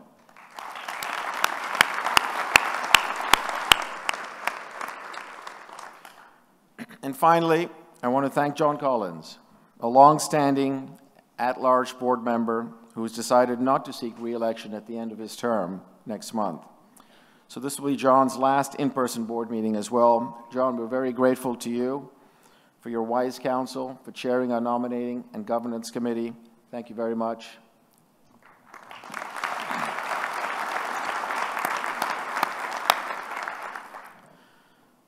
We uh, began our meeting today by saluting our great life members and I can report that the Board of Directors recently approved the nomination of our newest life member, Richard Groff. For over more than three decades, Richard has strengthened soccer at every level. From leading Pennsylvania youth soccer and U.S. adult soccer to the American Professional Soccer League, paving the way for MLS, to helping build the men's and the women's game, to serving on the board of our federation and the U.S. Soccer Foundation, Five years ago, Richard was recognized with the Werner Fricker Builder Award. And today, by acclamation, we are proud to welcome Richard Groff as our newest life member. Richard, please stand up.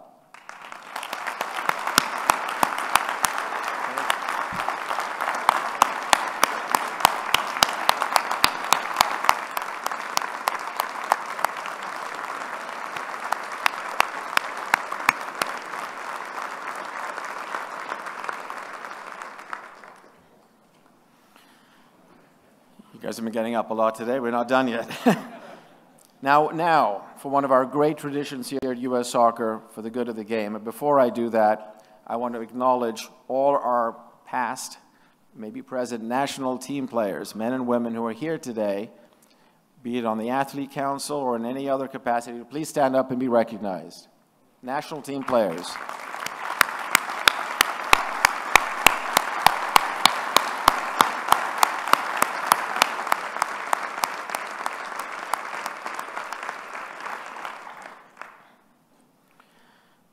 Before we open it, uh, the, the, the, floor up for, um, for the good of the game, I, I want to begin by inviting one of our special guests, to give, them, give him an opportunity to say a few words.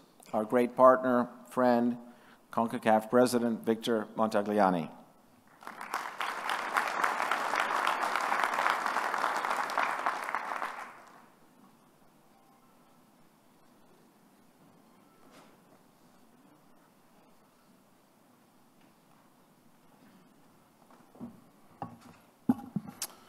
Thank you, Carlos. Gracias. Uh, good morning, everyone. it's nice to see spirited debate alive and healthy in, the, in our region. Um, not something we could have said even a few years ago. Um, it's a real honor and pleasure to be here uh, in front of the members of U.S. Soccer. Uh, I'd like to acknowledge first and foremost some of the key members that I get to work with uh, on a regular basis. First and foremost, FIFA Council member Sunil Gulati, your past president.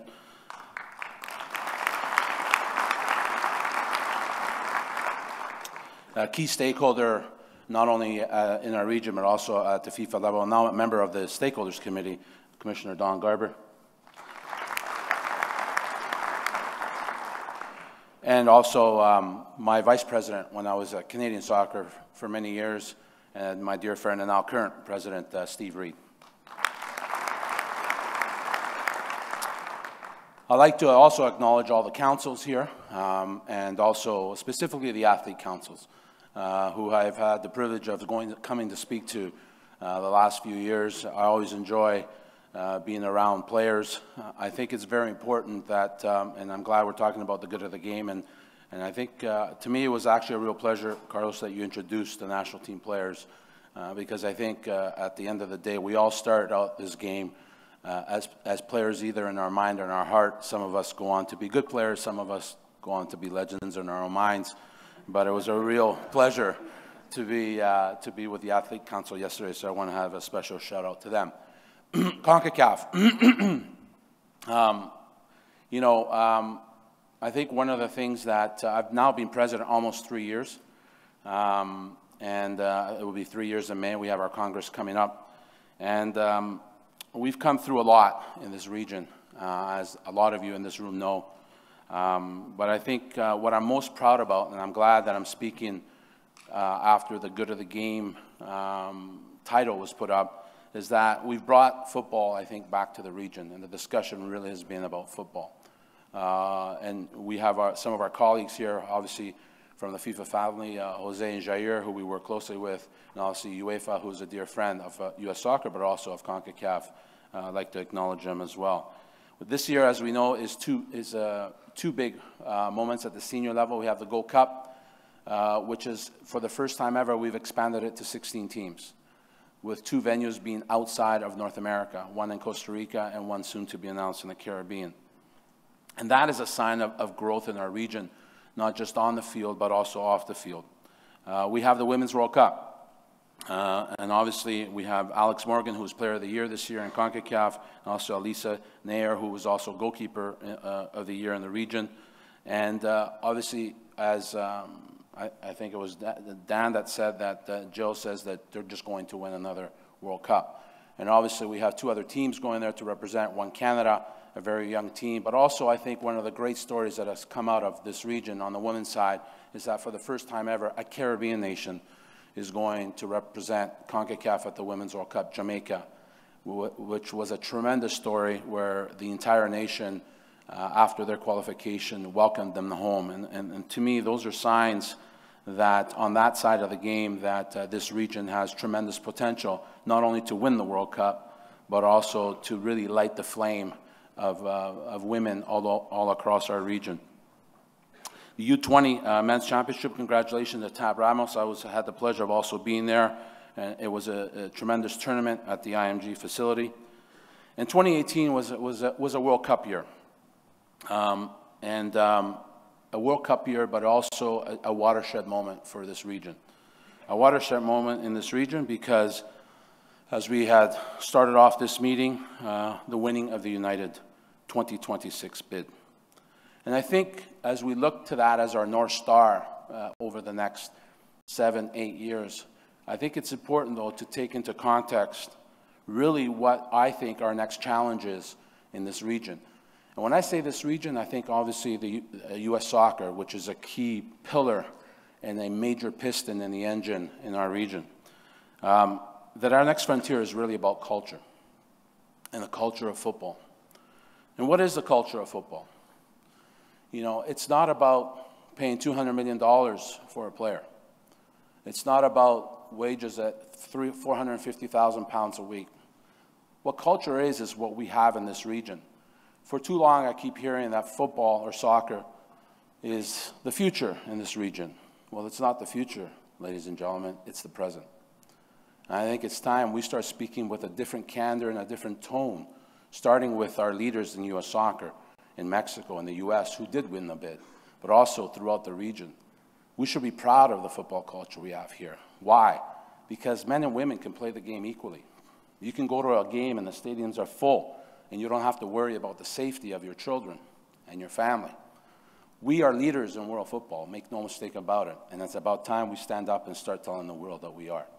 And so, as your CONCACAF president, I'm very happy and proud of the work U.S. Soccer has done, not only in the past, but in the present. And I will be here to support you every step of the way. And to that end, we launched in November a strategic plan for CONCACAF. We launched a process, a process that will take 18 months, that will culminate at some point in 2020 and that process will involve all the stakeholders, all the stakeholders that are here present in this room, all the stakeholders in, our region. And really what that strategic plan is, it's called CONCACAF 2030. And it is really answering the question, what will we be? What will CONCACAF look like? And what do we want it to look like in the year 2030? and when I say CONCACAF, that doesn't mean me and my staff in Miami or in Guatemala City or in Kingston, Jamaica. It means us. We are CONCACAF. And I think as we look on the tremendous growth that has happened and the potential growth, I think it's important to look at the football history, especially in our region in the US and, specifically in North America. Our history has shown that we can get somewhere alone very fast. But I think what the United bid has taught us is that we can get far together. And that is the key message as we move forward, as not only one nation, as your logo says, but also as one CONCACAF. And so, to that end, I'd like to acknowledge your president with a little token of our appreciation from our CONCACAF family. Carlos, first and foremost, on behalf of the 41 nations that are listed behind here and the one CONCACAF family, I'd like to acknowledge not only um, my invitation here, but also, Carlos, I want to thank you on a personal level. You sit on the CONCACAF Council. You're a trusted team player by not only by the council, but also all the members of our CONCACAF family. And I want to thank you for your service to CONCACAF, to the region, obviously to U.S. Soccer, and at a personal level, thank you for being a friend. Thank you, Richard. Thank you.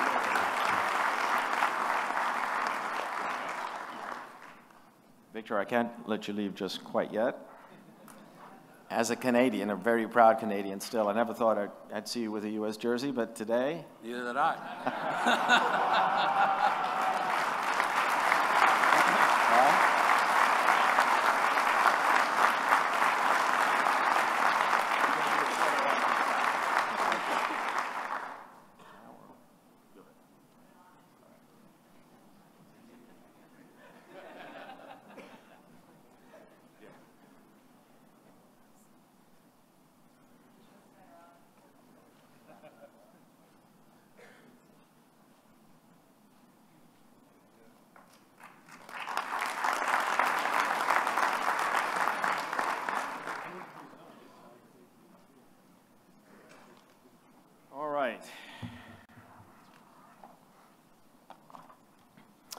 So, at this point, I'd like to make a special announcement. And earlier, we all heard from Dan Flynn. Dan has served as our CEO and Secretary General with distinction for the past 19 years, maybe longer than even he intended. And in particular, I'd say over the last 12 to 18 months, he's helped us ensure continuity and stability. Dan, I'm especially grateful to you for your partnership, your wise counsel, and friendship this past year. And so, it's, ve it's very bittersweet that we're announcing today that Dan will step down later this year, as we thank him for nearly 20 years of outstanding service. As with every senior position at the Federation, we'll conduct a thorough search for his successor and will work for a seamless transition. There will be many more opportunities in the future to thank Dan for his many contributions. But Dan, you didn't think we let you off that easy today, did you? True to his Missouri roots, Dan is the very definition of Midwestern humility. He doesn't boast, he doesn't seek the limelight, and as a result, the scope of his impact is not always fully known on the outside. So I want to take this opportunity, if I may, today to briefly share a few highlights. And yes, Dan, we're going to embarrass you just a little. In Dan Flynn,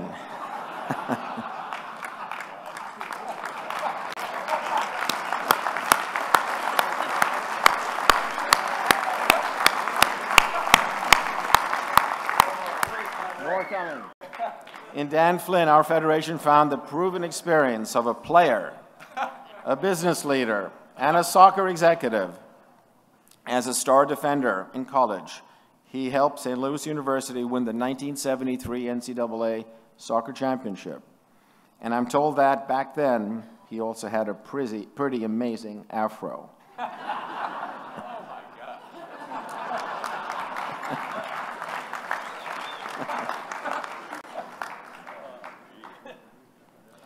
Wow. In business, in business, he became president of Anheuser-Busch International at the age of 31. And in leadership positions at U.S. Soccer, so both at U.S. Soccer and at the foundation, he helped fuel the growth of soccer in the late 1990s. Today, we see Dan's work as CEO in world-class facilities, from the National Training Center in Carson, California, to the National Training and Coaching Development Center in Kansas City, to the brand new National Soccer Hall of Fame in Frisco, Texas. We see his work in a renewed focus on national team and player development, especially our youth. In fact, during his tenure, our women's national team won three Olympic gold medals and a World Cup. And we see Dan's work in the critical role he helped in some of our greatest successes, from hosting the 2003 Women's World Cup with just four months to prepare to the 2016 Copa America Centenario, which was a major boost to our financial security, to our successful bid to host the Men's World Cup in 2026. I have to point out, as many of you know, that Dan did this all in recent years while undergoing major surgery, a heart transplant, fully recovering and then getting back to work, often at a relentless pace. Dan is unstoppable. None of this comes without huge sacrifice. True, Dan has two great loves in his life soccer and his family, but not in that order. All this time, his family has continued to live back home in St. Louis. Dan has commuted to Soccer House in Chicago just about every week for 25 years. And next month, he and his wife Kathy, who's with us today, will celebrate their 41st wedding anniversary.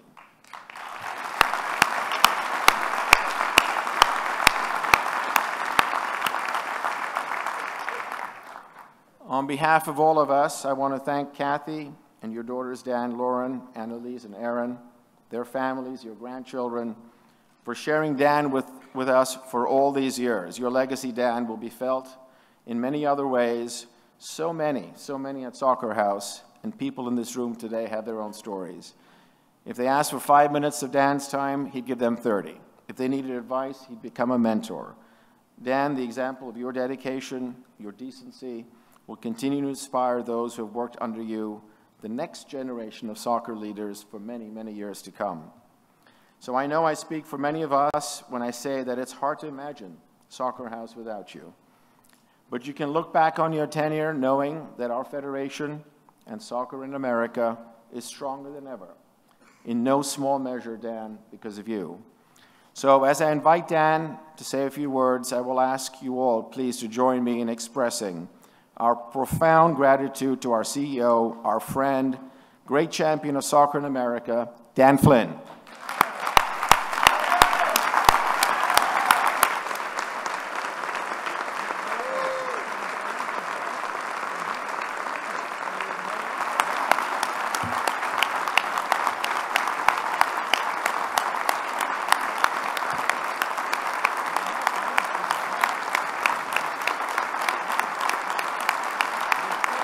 Thank you very much. Thank you. Well, I kind of pride myself on not being surprised, but I was uh, very surprised. Carlos, thank you for that wonderful introduction. And somewhere, my wife, um, we're going to have a discussion about those pictures. But uh, as Carlos was providing his wonderful introduction, I, I couldn't help but really stare at Hank. Hank and I are the only two people who have held this position really in about the last 30 years. And I will never forget the day I took over in the transition and Hank said to me, Dan, I will do anything to help you succeed. I will do anything to help U.S. soccer succeed. And so you, anybody that knows Hank, he's a man of his word. He was there when the quirky hours when I would call, when things maybe weren't going so well. I got a lot of calls when he said, hey, congratulations. First one to always call when we had success on the field. But I, what I most appreciate about Hank was when he would call me and kind of say, hey, Dan, I think you guys are maybe going off the rails a little bit. He provided an incredible balance. So, Hank, thank you for your friendship. Thanks for your mentorship. So I'm frequently asked over the years, what's my favorite team? And obviously, it's a trap question and one that I completely stay away from. But I will now reveal my favorite team today. It's my medical team. obviously, without them, I wouldn't be here. So,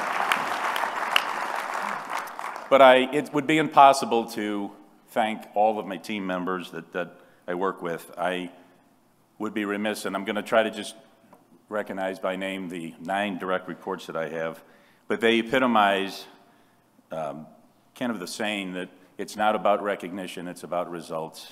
So Lydia, Jay, Brian, Pinky, Tanya, Neil, Nico, Asher, and Ernie, you make it easy to come in every day.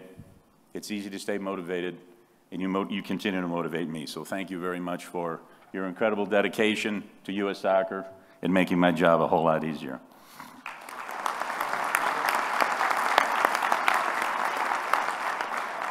As I was thinking through my transition a number of years ago when Sunil and I were talking, I was going through my calendar and looking at all the meetings. And I did it for about, I don't know, five, six, seven years. And I kept noticing a certain name that would kind of pop up on my schedule. And then I realized, I said, heck, I'm spending more time with Jay Berhalter than I am my wife. and so the transition proceeded. Sorry, Jay, but Kathy's better looking. I do want to, you always run a little bit of a risk. Uh, I mentioned nine people, but I, I do want to mention Jay in particular. He worked with me at the foundation, and I was able to um, get him to come to U.S. Soccer. He did leave U.S. Soccer for a bit, and we were lucky enough to recruit him back. Um, in any job, there's people that uh, stay late, give you really good advice. They give you honest advice. You don't always like to hear it. Uh, but I really couldn't have accomplished it's not me. We couldn't have accomplished a lot of what we've accomplished, quite frankly, without Jay. So, Jay, a special thank you.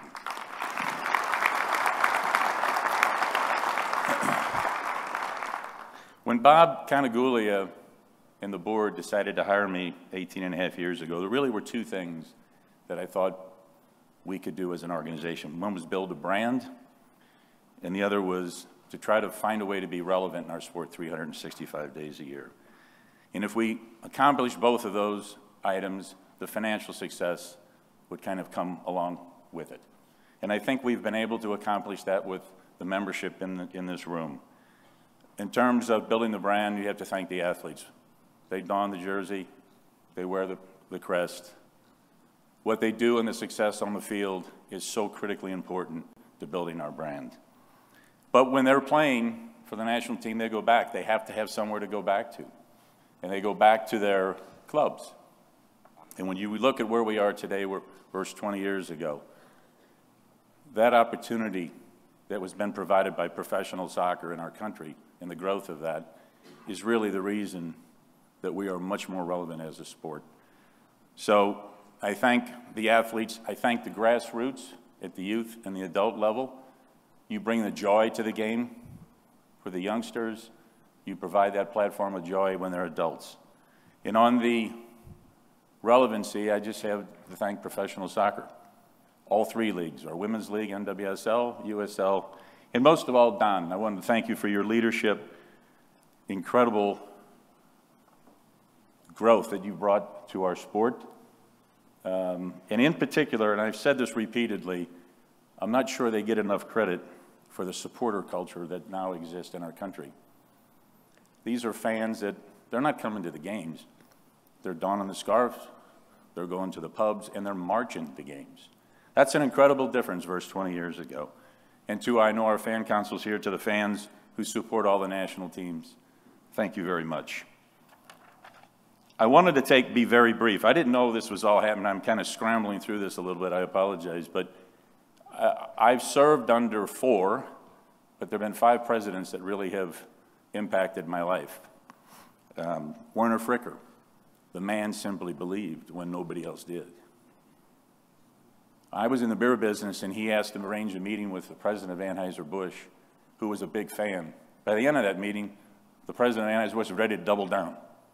But Werner believed when very few others really didn't believe. Alan Rothenberg, who is not here, but staging the World Cup was what everybody talked about, but he saw it a lot differently. It was a 30, 30 day party in a platform in a runway to start a Division One men's league. Simply nothing less than spectacular. Bob Contiguglia, thank you for hiring me. Um, I would say about the integrity of the process, focus on principles, stay focused on the important things, how we get better. We'll never forget it. He kept it very simple, very powerful. Sunil, thank you for your dedication to the, the game. Thank you for your commitment to growth. And I will say this of Sunil that I don't think he's, deserved, he's gotten the credit for this particular point he absolutely moved us to take risk. And that's not an easy thing to do, to move a member organization into a riskier proposition. But he built that into the staff in such a way it became very common. Very difficult to do, but really needed in the 12-year run that you had. So thank you very much, Sunil.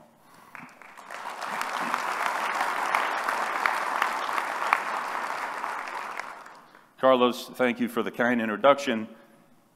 I say of Carlos' vision. He presented a vision. You elected him in 18. Led the World Cup bid effort successfully.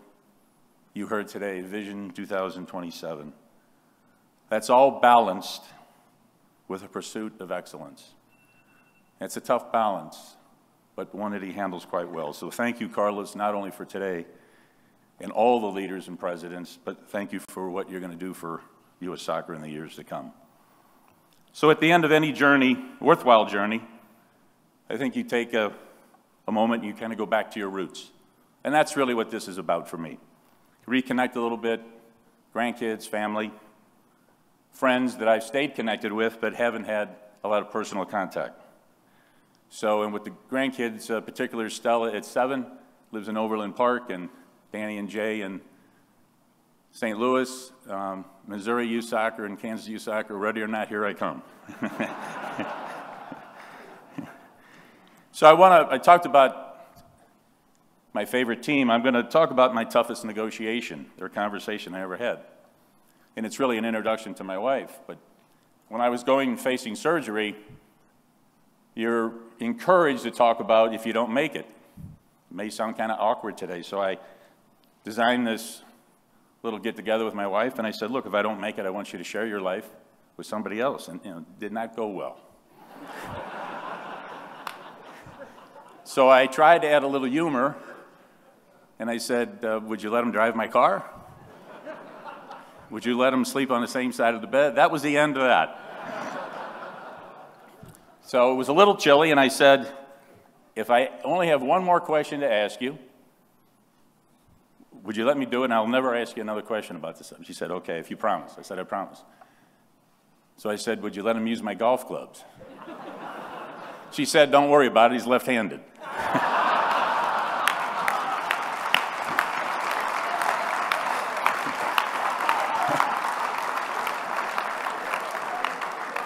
so I, I hope my wife is here. I, I don't see her, but, and I, I, I will end, you know, really it's about in tough times, adding a little bit of humor and smiling and a little bit of collaboration, I think goes a long way.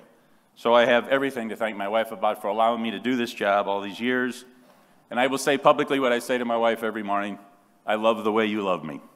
So it's been an honor for 18 and a half years. It's been a privilege. Carlos, thank you for your kind introduction. I'm very grateful. Thank you.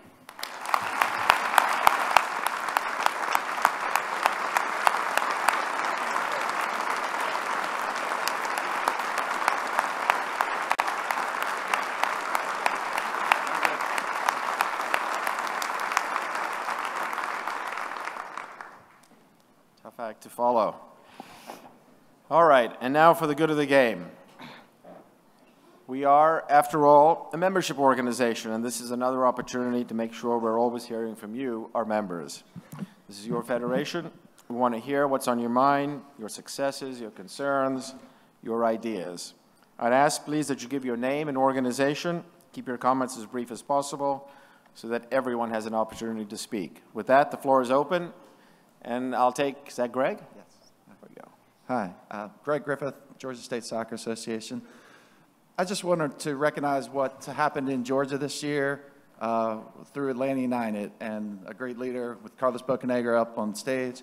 Um, in case you missed it, they won the MLS Cup this year, but they set single season attendance records of averaging 53,000 they had over 900,000 people come over 17 home games, set single season records for games with around 72,000 attending multiple games. We broke a record for MLS All-Star game attendance, broke a record for MLS Cup attendance, and the environment is just fantastic that they've created there. If you get a chance, it's sold out all the time, but if you get a chance and you want to scalp a ticket, you know, come on down. But I just wanted to say that thank you to Atlanta United for that because ever since I got into the soccer business, when I tell someone what I do, almost second or third question they say is, you know, when's soccer going to make it big in this country? And now, thanks to Atlanta United, if you go to a game, we're here. We made it big. So thank you very much. Thank you, Greg. Tom Moore. Tom Moore, California Soccer Association North. Thank you very much to everyone for passing this new policy 414-1 today. Um, and certainly it will mean a bit more work for the National Board of Directors, certainly a bit more work for the staff, but it's also an opportunity for all of us because as I look across the National Council here, I'm quite certain we have experts in financial management, IT, human resources, education. Uh, I would guess that perhaps we have a few experts in marketing and PR over on the Pro Council. Uh, Lord knows we have enough attorneys in the room. So uh, please take advantage of this opportunity because we're take, we've taken an important step towards open governance and your expertise can be useful in moving the game forward for all of us. Um, secondly, uh, 30 minutes after this meeting ends, a group of men and women from the Adult Council will be meeting out at the small field for some pickup soccer. And if I'd remembered my goalkeeper's gloves, I would throw them down on the ground because we are challenging the Athletes Council to a game.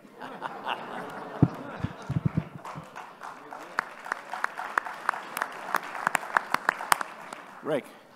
Rick Kelsey, Arizona Soccer Association. Just two things I want to encourage everybody to become a part of. Here in Arizona, we've launched a partnership with Clemson University. Um, this weekend, we're actually hosting um, 10 disabled veterans from Arizona, and we're putting them through their grassroots coaching license. Um, and it's a program we want to continue to do. I would encourage other states to reach out to Clemson University um, as they have a program that they've, they've launched this year. Also, we have um, a club here in Arizona, uh, North Phoenix Christian Soccer Club, that is 134 refugees. They actually came this weekend and helped U.S. Soccer stuff the, the goodie bags you guys had. Um, it, was, it was an absolute amazing experience for me because as we were here, we went around and took the kids around the hotel. One of the kids said, Wow, I feel rich. I was like, wow, that's kind of funny. Um, then we continued to walk around. We went by the pool. One of the window shades was open. One of the kids looked into the hotel room and said, oh, look at that's a really cool bed.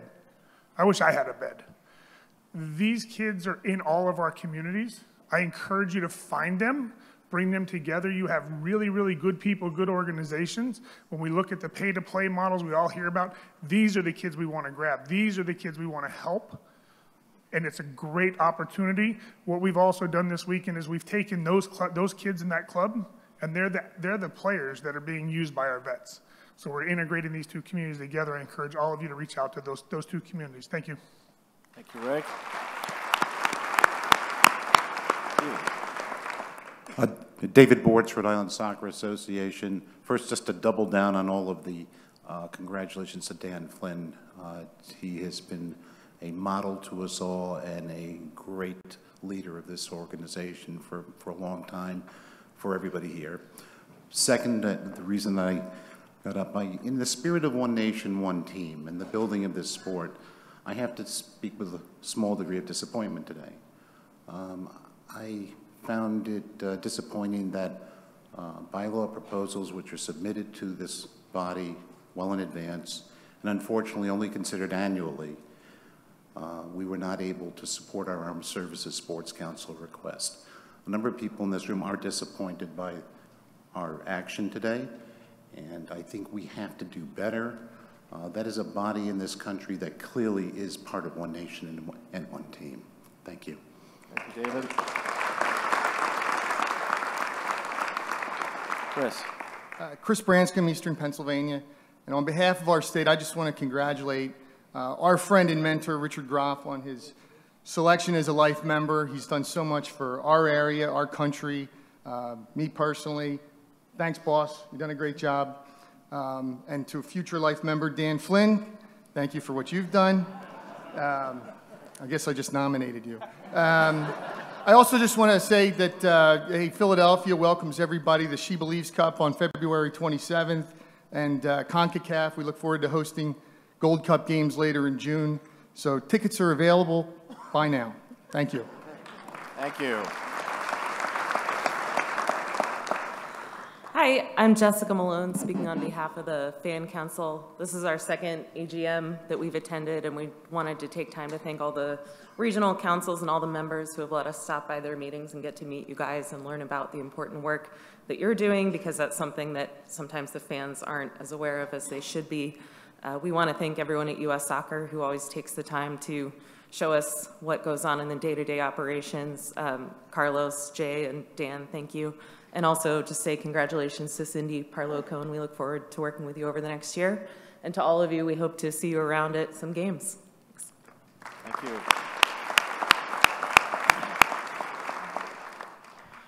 Dave Laraba, West by God, Virginia. you knew that was coming, I just had to do it. Uh, a couple quick things. Jennifer, Lieutenant Colonel, thank you for coming back this year, and thank you for proudly wearing your uniform. Well done, Marine. Thank you for your service to our game and to our country.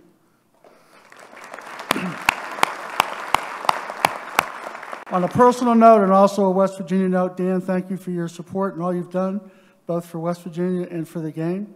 And my good, long time, not say how many years, friend Richard, congratulations, well done. Finally, I was happened to be looking through because a couple people mentioned, you know, you said something last year for good of the game. Well, that's a surprise. And I looked to see what I said. I thought I remembered, but I wasn't sure. So I said, because of the crowd from last year and all the attendance, that I challenged everybody that was attending to come back. How many of you were here last year at the AGM? Could you raise your hand or stand up? Thank you. The second thing I said was I challenged the candidates to not walk away if they were not, the, the ones that were not successful. I asked them to continue their service, and several of them said they would. I would like all the candidates who ran for president last year to please stand up. Thank you, Carlos.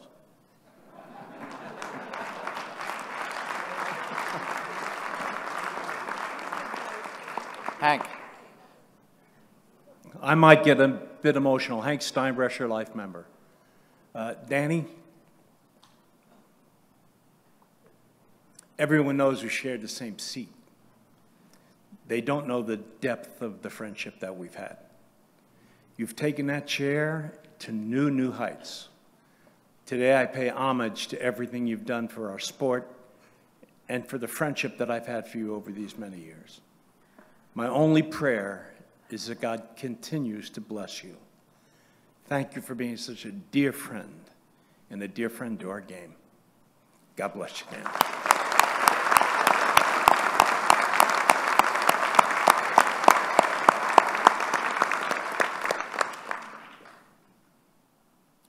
Sorry. Kurt. Kurt Regroot, New York West Youth Soccer. Uh, several years ago, when I became state president, I, as I attended national meetings, uh, purposely started to reach out to various members from the Federation, Caitlin, Brian, you, Carlos, Sunil, uh, Dan, and my intent was to try and advocate for more commitment to the youth soccer game. Um, I had a lot of doubters as I talked to people. Um, many said, you know, questioned whether I would, I would have much success. But there are others out there like me over the last few years who have done the same. Uh, it's very clear two years later, three years later, in your stated commitment that fixing youth soccer is a priority, that you've listened to us. And I just wanted to express our gratitude on behalf of all of us in the youth soccer game for listening, for making that com commitment. We'll continue to press you, but we're grateful for the commitment, and we look forward to that commitment going forward and the results of it. Thank you. Thank you, Kurt.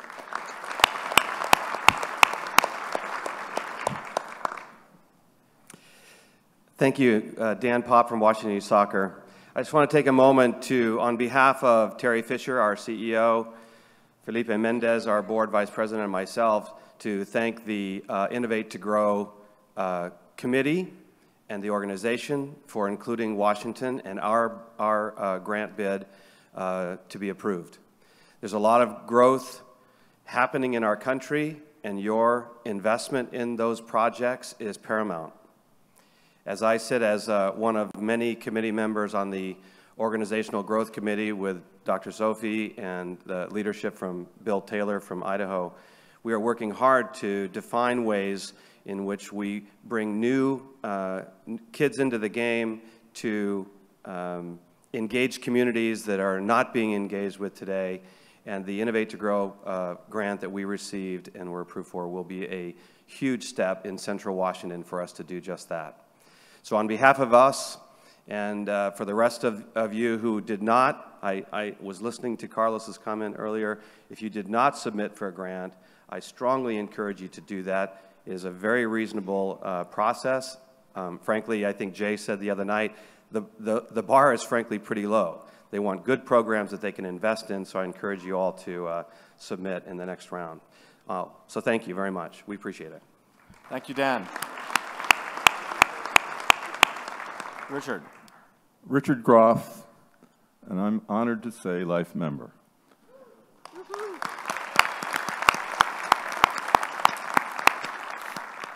It's a great honor to join those incredible people sitting to our left and to thank each of you uh, for voting me in. I was a little nervous there for a while. This been a, it has been a 30-year journey. And certainly I need to thank my friends at Eastern Pennsylvania Youth Soccer and Region 1 that started this journey. But I wouldn't be here today without the partners, the mentors, the advisors. Sunil, uh, Kevin, Hank, especially Dan, you've been remarkable in your guidance to keep me going. I love this organization. I love our teams. And I look forward to helping you grow this sport. Thank you.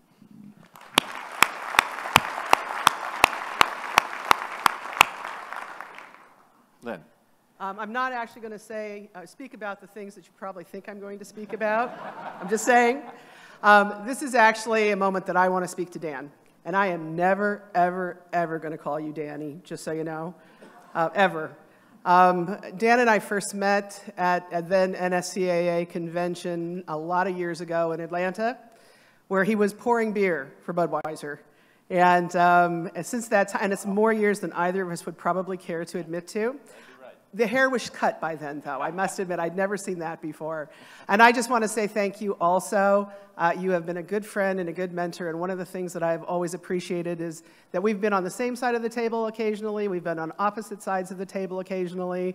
You've been a tad salty from time to time, but always direct and honest. And you've always said yes when you meant yes, and no when you said no, when you meant no. And that has meant the world. I have learned so much from you. First in my days, my many, many days at Soccer America, then my years at AYSO, and now at United Soccer Coaches. And I want to thank you when we made the new rebrand from NSCAA United to United Soccer Coaches. That was a, a large and frightening step. And you came up to me and said, that was kind of a bold move, wasn't it, Lynn? And, uh, but you said it in a nice way, and I appreciated it because there were a few people out there who were saying not such nice things. Um, I have killed their child, but I want to just say thank you for all that you have done. Um, we understand that you will be in Kansas City more often. So come on by Union Station, and we welcome you anytime. Thank you for everything.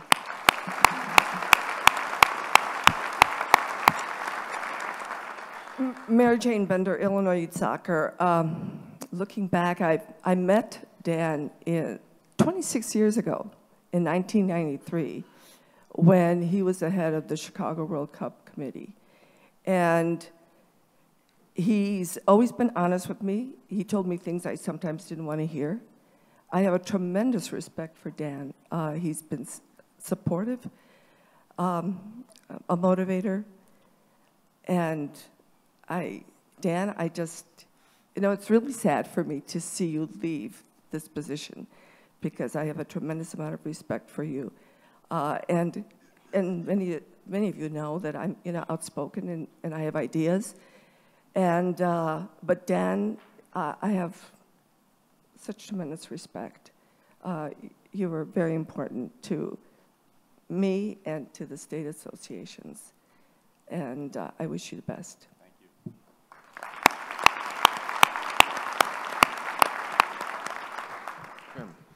Jim Bollinger, Eastern Pennsylvania Soc Soccer Association. Uh, three items. First of all, Dan, I'd like to say thank you on behalf of the Eastern Pennsylvania Soccer Association family and membership for all your years of service and dedication.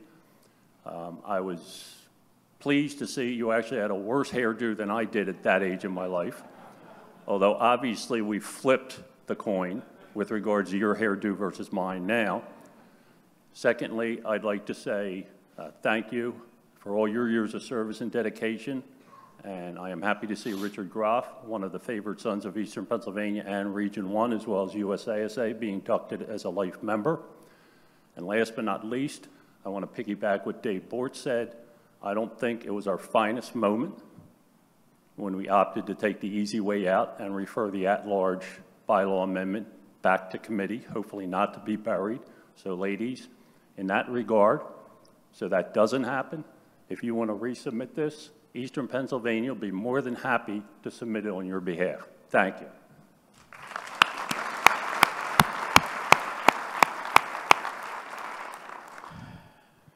Kendra Halterman from Utah. Um, I also help in the WPSL. Um, for all of you that were unaware, uh, Jerry Zanelli passed away, uh, the founder of the WPSL, in November. Um, Jerry was a huge advocate of the women's game, and he will be greatly missed. Um, the WPSL um, has been taken over by three new owners.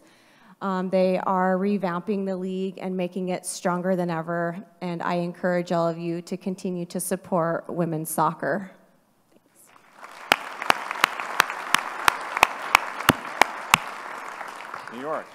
Uh, Good afternoon. Uh, Peter Pinari from Eastern New York, and I'm going to make this short and sweet. Um, On behalf of the, one of the oldest states that is part of this organization, that started this organization, Eastern New York, uh, I want to say thank you to two legends, and I mean that sincerely. Uh, That is Dan Flynn and Richard Groff. So thank you, thank you very much.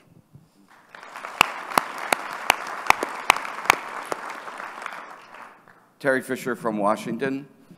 In 1973 and 1974, UCLA, where I was coaching, where Sigi Schmid was a player, we lost the final in 73 and the semifinal in 74 to Dan Flynn and St. Louis University. We also, we also this year lost Sigi Schmid, and I want to take a minute to acknowledge Sigi as a personality, as a player, as a passionate soccer person, and uh, it sort of crosses both hairs. We lost a great coach. MLS was nice enough to name their Coach of the Year award after Sigi, and I just wanted to acknowledge that connection. Thanks, Terry. There's one more comment. Jim McCarthy, Missouri Youth Soccer, to Carlos and Dan. Carlos, good luck in trying to find a replacement for Dan. Dan, uh, you made the offer. Missouri Youth Soccer accepts your offer. You are now part of that board. And uh, I'll end it, Dan, with go mix.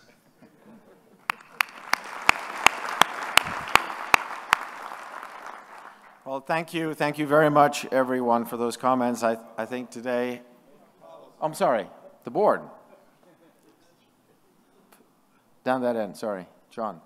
Yeah, I would like to thank Carlos, Jay, Brian, Dan, and of course UEFA for giving U.S. adult soccer an opportunity to play at a newer level. Uh, we're looking forward to partnering with UEFA in this new uh, cup we will be playing in 2020.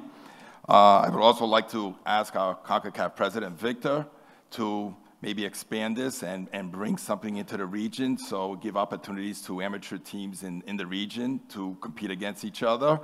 And while we look for new opportunities, I don't want anyone to forget that our women also play soccer, so let's keep them in mind when we look for opportunities. Thank you. John. Thank you. Do I got to hold it down? Yes. Okay, thank you, Carlos. Uh, let me start by, uh, by thanking Victor for uh, coming here to our Congress and also, Victor, for your pride and commitment to making our region one of the great regions for the sport. Uh, the time that we spend together and traveling around the, the global uh, soccer football market, it gives me great pride and admiration for your leadership to try to bring the respect to uh, our region of the world. So thanks for coming. I'd like to also uh, congratulate Cindy for her new uh, role and Greg for your new role. And I think it's important to sort of point out that as our sport continues to develop uh, and evolve, and as Bob mentioned, uh, the largest group of pro council members here representing the Women's League, Major League Soccer, the USL, uh, the vast majority of all those people here are people that came out of the grassroots, played as kids, likely played in college, and then had professional careers uh, like Cindy and Greg, and are now working full-time in the sport. So part of creating a soccer nation is being able to have uh, opportunities for people to work in the game.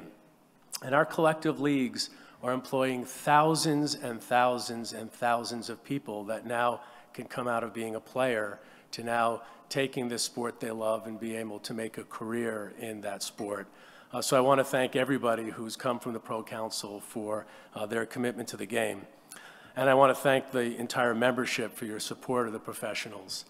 Uh, and Dan, uh, I want to take a couple of minutes if I can, and I promise I won't take too long, to uh, give uh, my respect, my admiration, and uh, support for everything that you've done to lead this federation for so many years.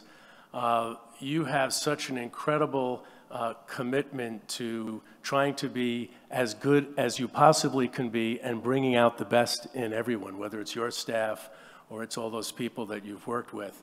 Uh, I have been in this job for 20 years, and 19 of those years, uh, you've been there to help me uh, be the leader that I can be, and I would not be the person I am and the leader of this league if not for you.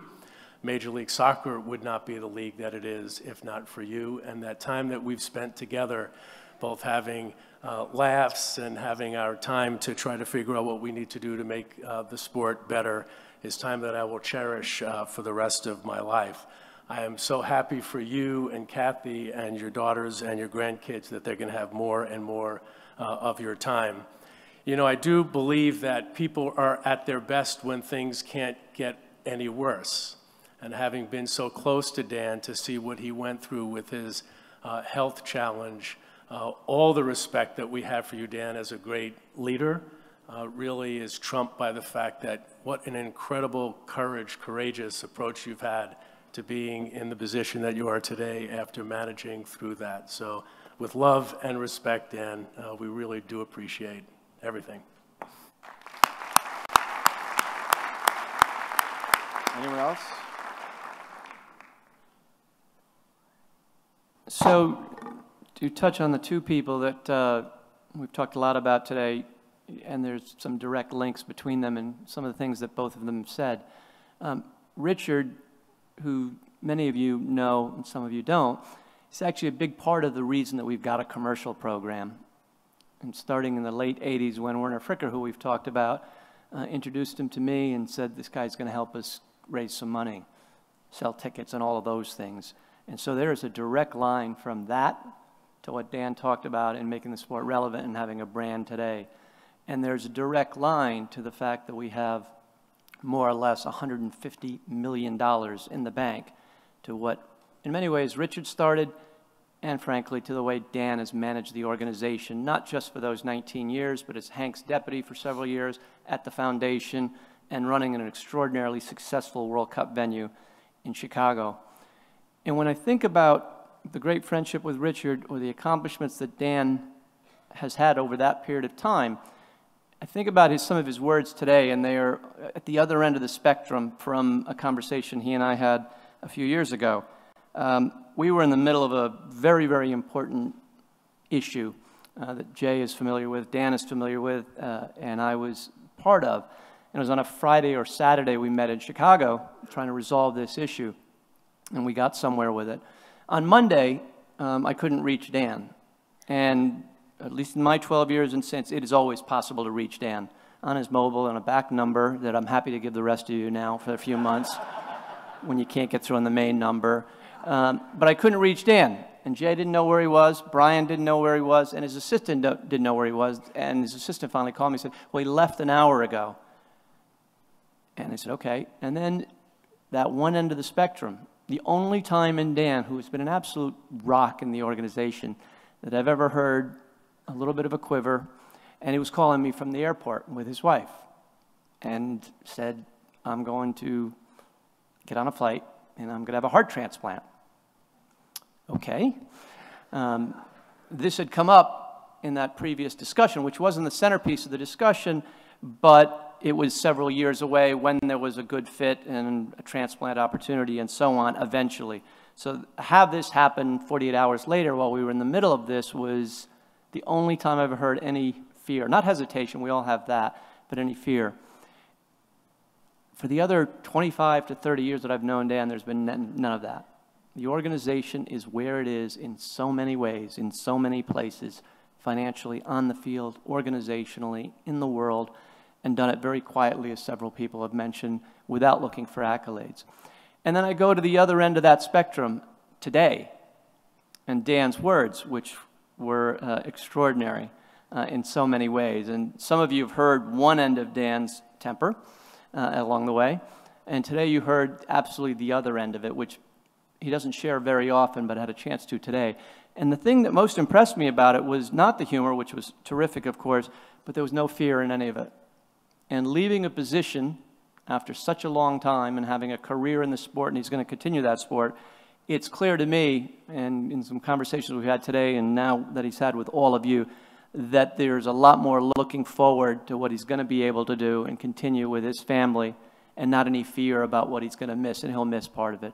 So, Dan, certainly from the bottom of my heart and on behalf of the sport and everyone that adores you and loves you, thank you for everything you've done. No fear going forward, and I'm sure we're all going to remain friends for a very long time. Thank you. Side? Chris. Thanks, Carlos. Uh, Dan, I'm not always great off the cuff, so uh, I hope that this comes off as genuine as I mean it from the athlete perspective. You know, as, as athletes, you in the organization as a whole, they put the utmost faith in us that we would perform on the field, and win or lose, the support was always there. And it has to work in conjunction with the business. And we look at the organization today, and we talk. We always talk about the numbers and the budget, and we're positioned better than we've ever been, and that's all because of you, Dan. So while you put your faith in us on the field, we had our faith in you in in leading the mission and the organization, and we're eternally grateful for that. So thank you.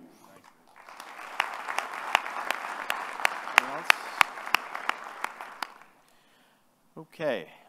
If there's nobody else, let me just say thank you again. I think today has been a great reminder that over the past year we've made some progress, but we still have a lot to do. As members, as councils, as a board, as a federation, in all this work, I just want to reaffirm the promise I made to you last year on behalf of myself and now on behalf of this board. We are one federation. We are partners. We will listen. We will be inclusive. We will continue to work with all of you in every way we can to deliver the change and the progress we want.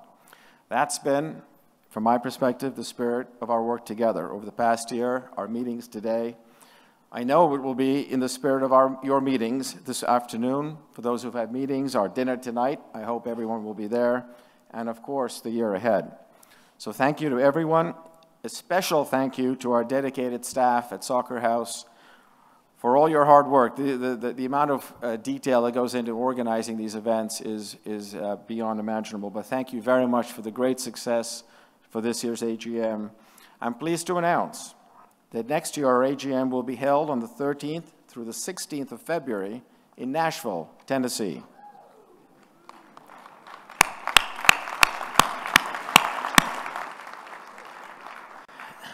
And as we adjourn and we look to the year ahead, especially the Women's World Cup, we have one message to the world. Here we come.